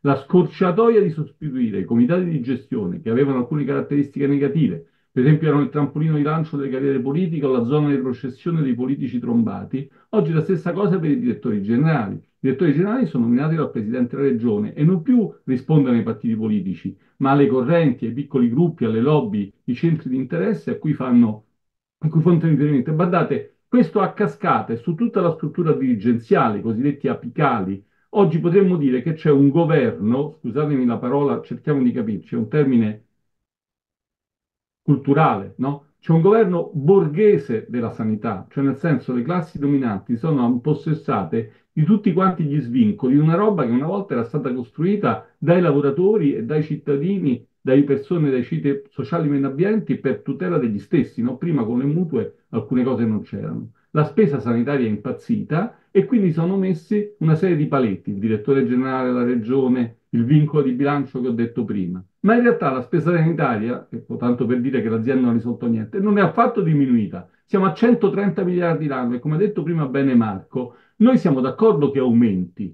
ma oggi sull'aumento del Fondo Sanitario Nazionale sono d'accordo tutti, anche la- i, le- le- i i datori di lavoro privati, i sindacati, i datori religiosi, le regioni, ehm, le- i sindacati, anche quelli corporativi dei medici, perché ognuno vuole la sua fetta della torta. Noi dobbiamo dire che il Fondo Sanitario Nazionale deve aumentare, ma soltanto per il servizio sanitario propriamente detto, per un piano straordinario di assunzioni che devono essere sbloccate. Allora, il PNRR, scusatemi, qui anche mi attacco al discorso case della salute e casa comunità. Allora, le case della salute nascono come un tentativo di riforma della sanità territoriale e nascono segnatamente in Toscana da parte di un compagno, un assessore provinciale, si chiamava Benigni, Bruno Benigni, che è morto qualche anno fa, eh, bravissimo, che dovette trovare una soluzione al fatto che la Toscana è stata la prima regione a fare le aziende sanitarie ancora più grandi di come erano, erano provinciali prima, Arezzo, Siena, Grosseto e così via. E lei ha fatto, hanno fatto le aree vaste che adesso sono delle grandi aziende. Allora, eh, lui, ben conoscendo il tessuto toscano, quindi pensando, fece un convegno della CGL in cui promosse queste case della salute come un tentativo di rispondere alla eh, rottura di quella prossimità, di quella eh, diciamo, eh, decentramento amministrativo che la sanità in sé comportava, e, ma dentro un'esperienza toscana. Quando nel 2005 c'è il secondo governo Prodi con la Turco ministro, la Turco propone questa esperienza a livello nazionale, non come obbligatoria. Alcune regioni non le hanno fatte, altre hanno fatto esattamente come ho detto prima, un intervento, non ricordo chi, che ha cambiato la targa e da distretto ambulatorio con ambulatorio, oppure ospedale che viene chiuso ha scritto casa della salute, ma in realtà non siamo riusciti nelle case della salute, tranne rarissime esperienze che non sono replicabili nel resto d'Italia, a, uh, a, a, riformare la medicina di base, cioè il complesso medico di famiglia, uh, pediatra di libera scelta, specialista ambulatoriale, il rapporto con l'ospedale e con gli altri servizi, dipartimento di salute mentale, dipartimento di prevenzione, eccetera, eccetera.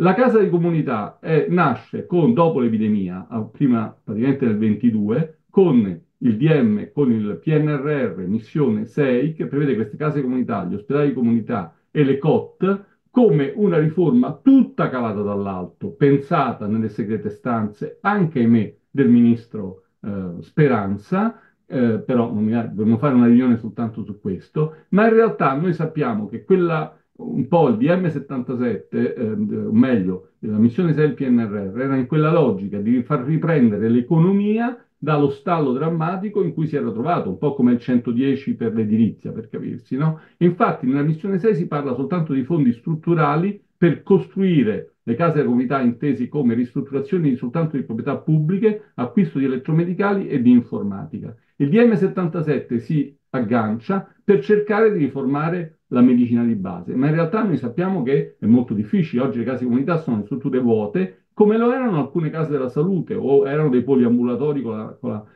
con la targa cambiata fuori. Um, mm, e su questo, tra l'altro, vi consiglio di andare a vedere. A parte, ho scritto un articolo su lavoro e salute. Se cercate su Google Edoardo Turi, lavoro e salute, case comunità, lo trovate. In cui il Parlamento ha fatto uno studio, il centro studi del Parlamento, sulle case della salute e gli ospedali di um, prossimità di comunità, secondo come si chiamano, in cui si vede che questo esperimento non ha così tanto funzionato. Quindi attenzione alle formulette facili con cui si risolvono problemi che non si sono risolti nell'arco di decenni e che in questo momento è ancora più difficile risolvere. L'esperienza del Portogallo è che i medici sono dipendenti, i, medici famiglia sono dipendenti nel Portogallo. Il Brasile non lo prende in considerazione perché non hanno un servizio di sanità pubblica, esistono come in tutto il mondo piccole esperienze interessanti, ma io penso che da, sono altre le esperienze internazionali che vanno prese eh, come punto di riferimento. Sul problema dei migranti, de, meglio, degli extracomunitari, diciamo così, irregolari, Bisogna dire che purtroppo su questo, anche di senza fissa dimora, c'è un problema della nostra legge nazionale dell'8378 che parla sempre di cittadini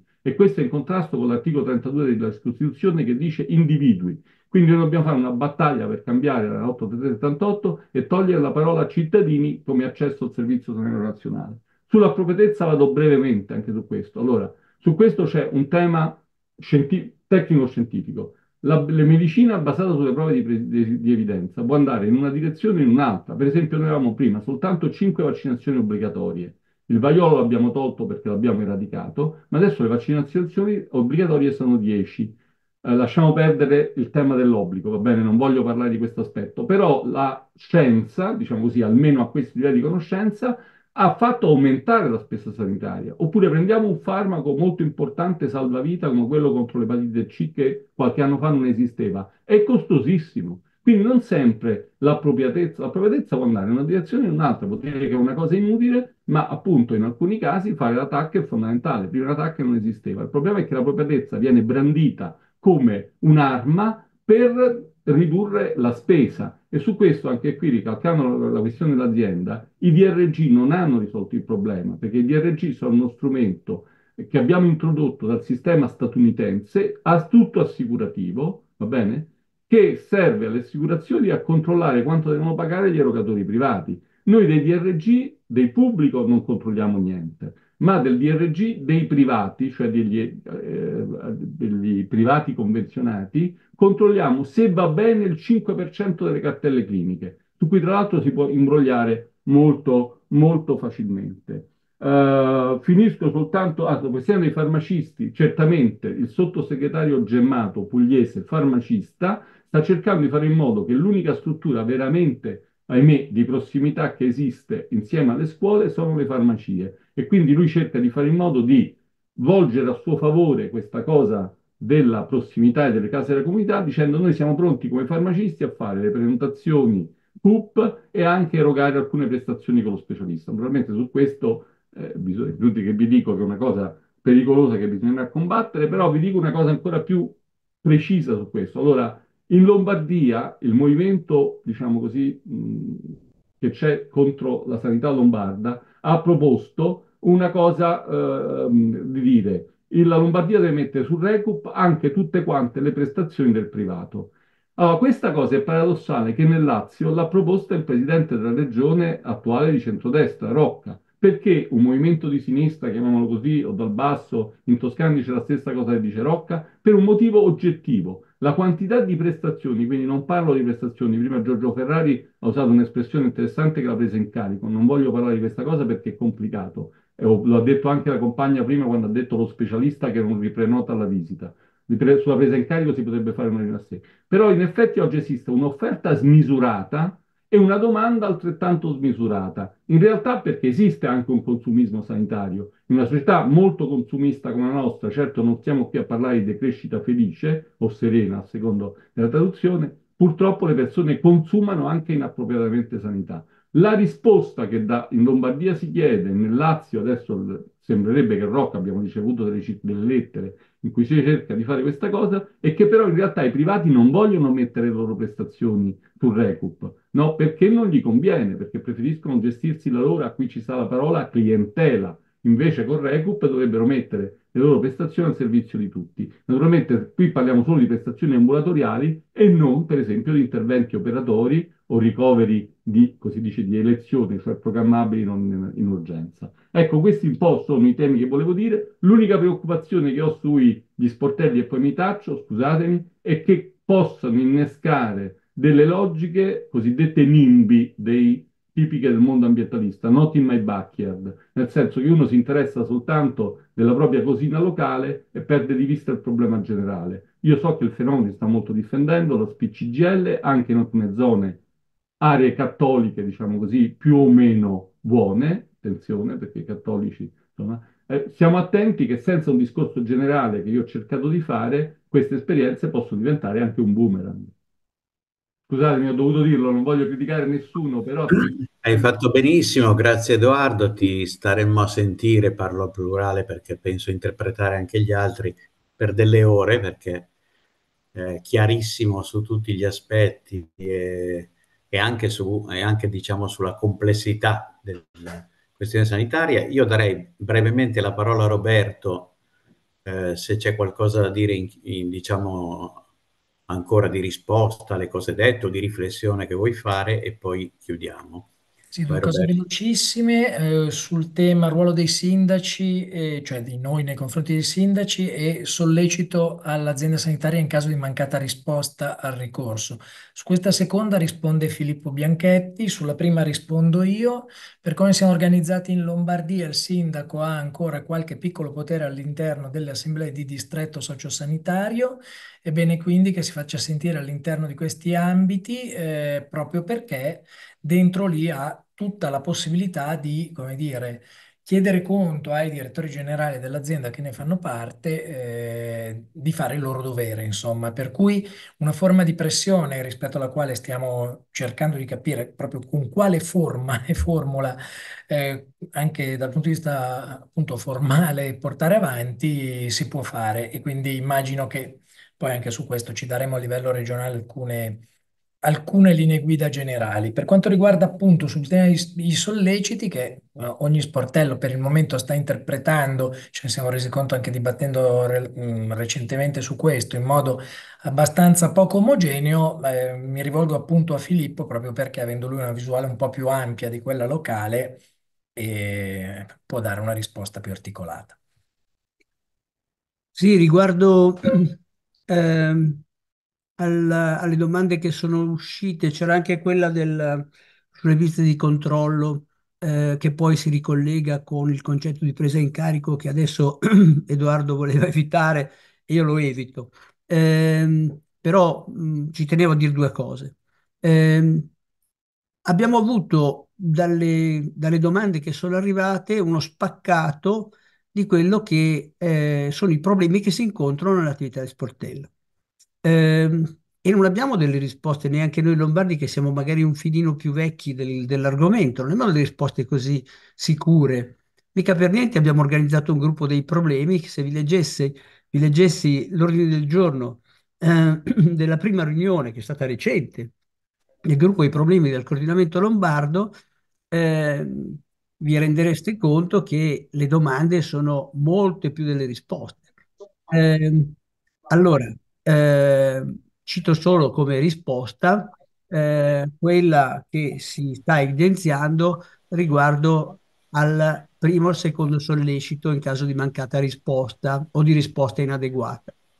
Eh, allora, nel caso del primo sollecito, semplicemente si ricorda il problema e si cerca di farlo con un anticipo sufficiente rispetto alla data di erogazione della prestazione, perché se eh, si tratta di una prestazione, di una prescrizione per eh, un'indagine eh, strumentale a 60 giorni eh, con la DIDI differibile, eh, è chiaro che non possiamo arrivare troppo sotto a sollecitare per i 60 giorni, dobbiamo pensarci con un anticipo sufficiente, eh, quindi con almeno, dico io, una decina, quindicina di giorni rispetto alla scadenza, perché quella non è la scadenza per la risposta, ma la scadenza per l'appuntamento, cioè per l'esecuzione della prestazione.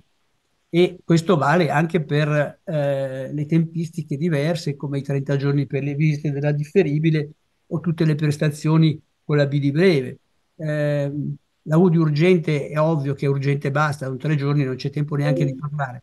Eh, ma sulla B di breve ci sarebbe parecchio da discutere perché eh, lì eh, è una questione eh, molto importante di responsabilità. Ecco, eh, quindi il, primo sollecito è un richiamo, semplice, semplice. Guarda che ti ho detto che devi fare questa cosa entro questo termine, guarda che il termine si avvicina, per favore cerca di ricordartelo.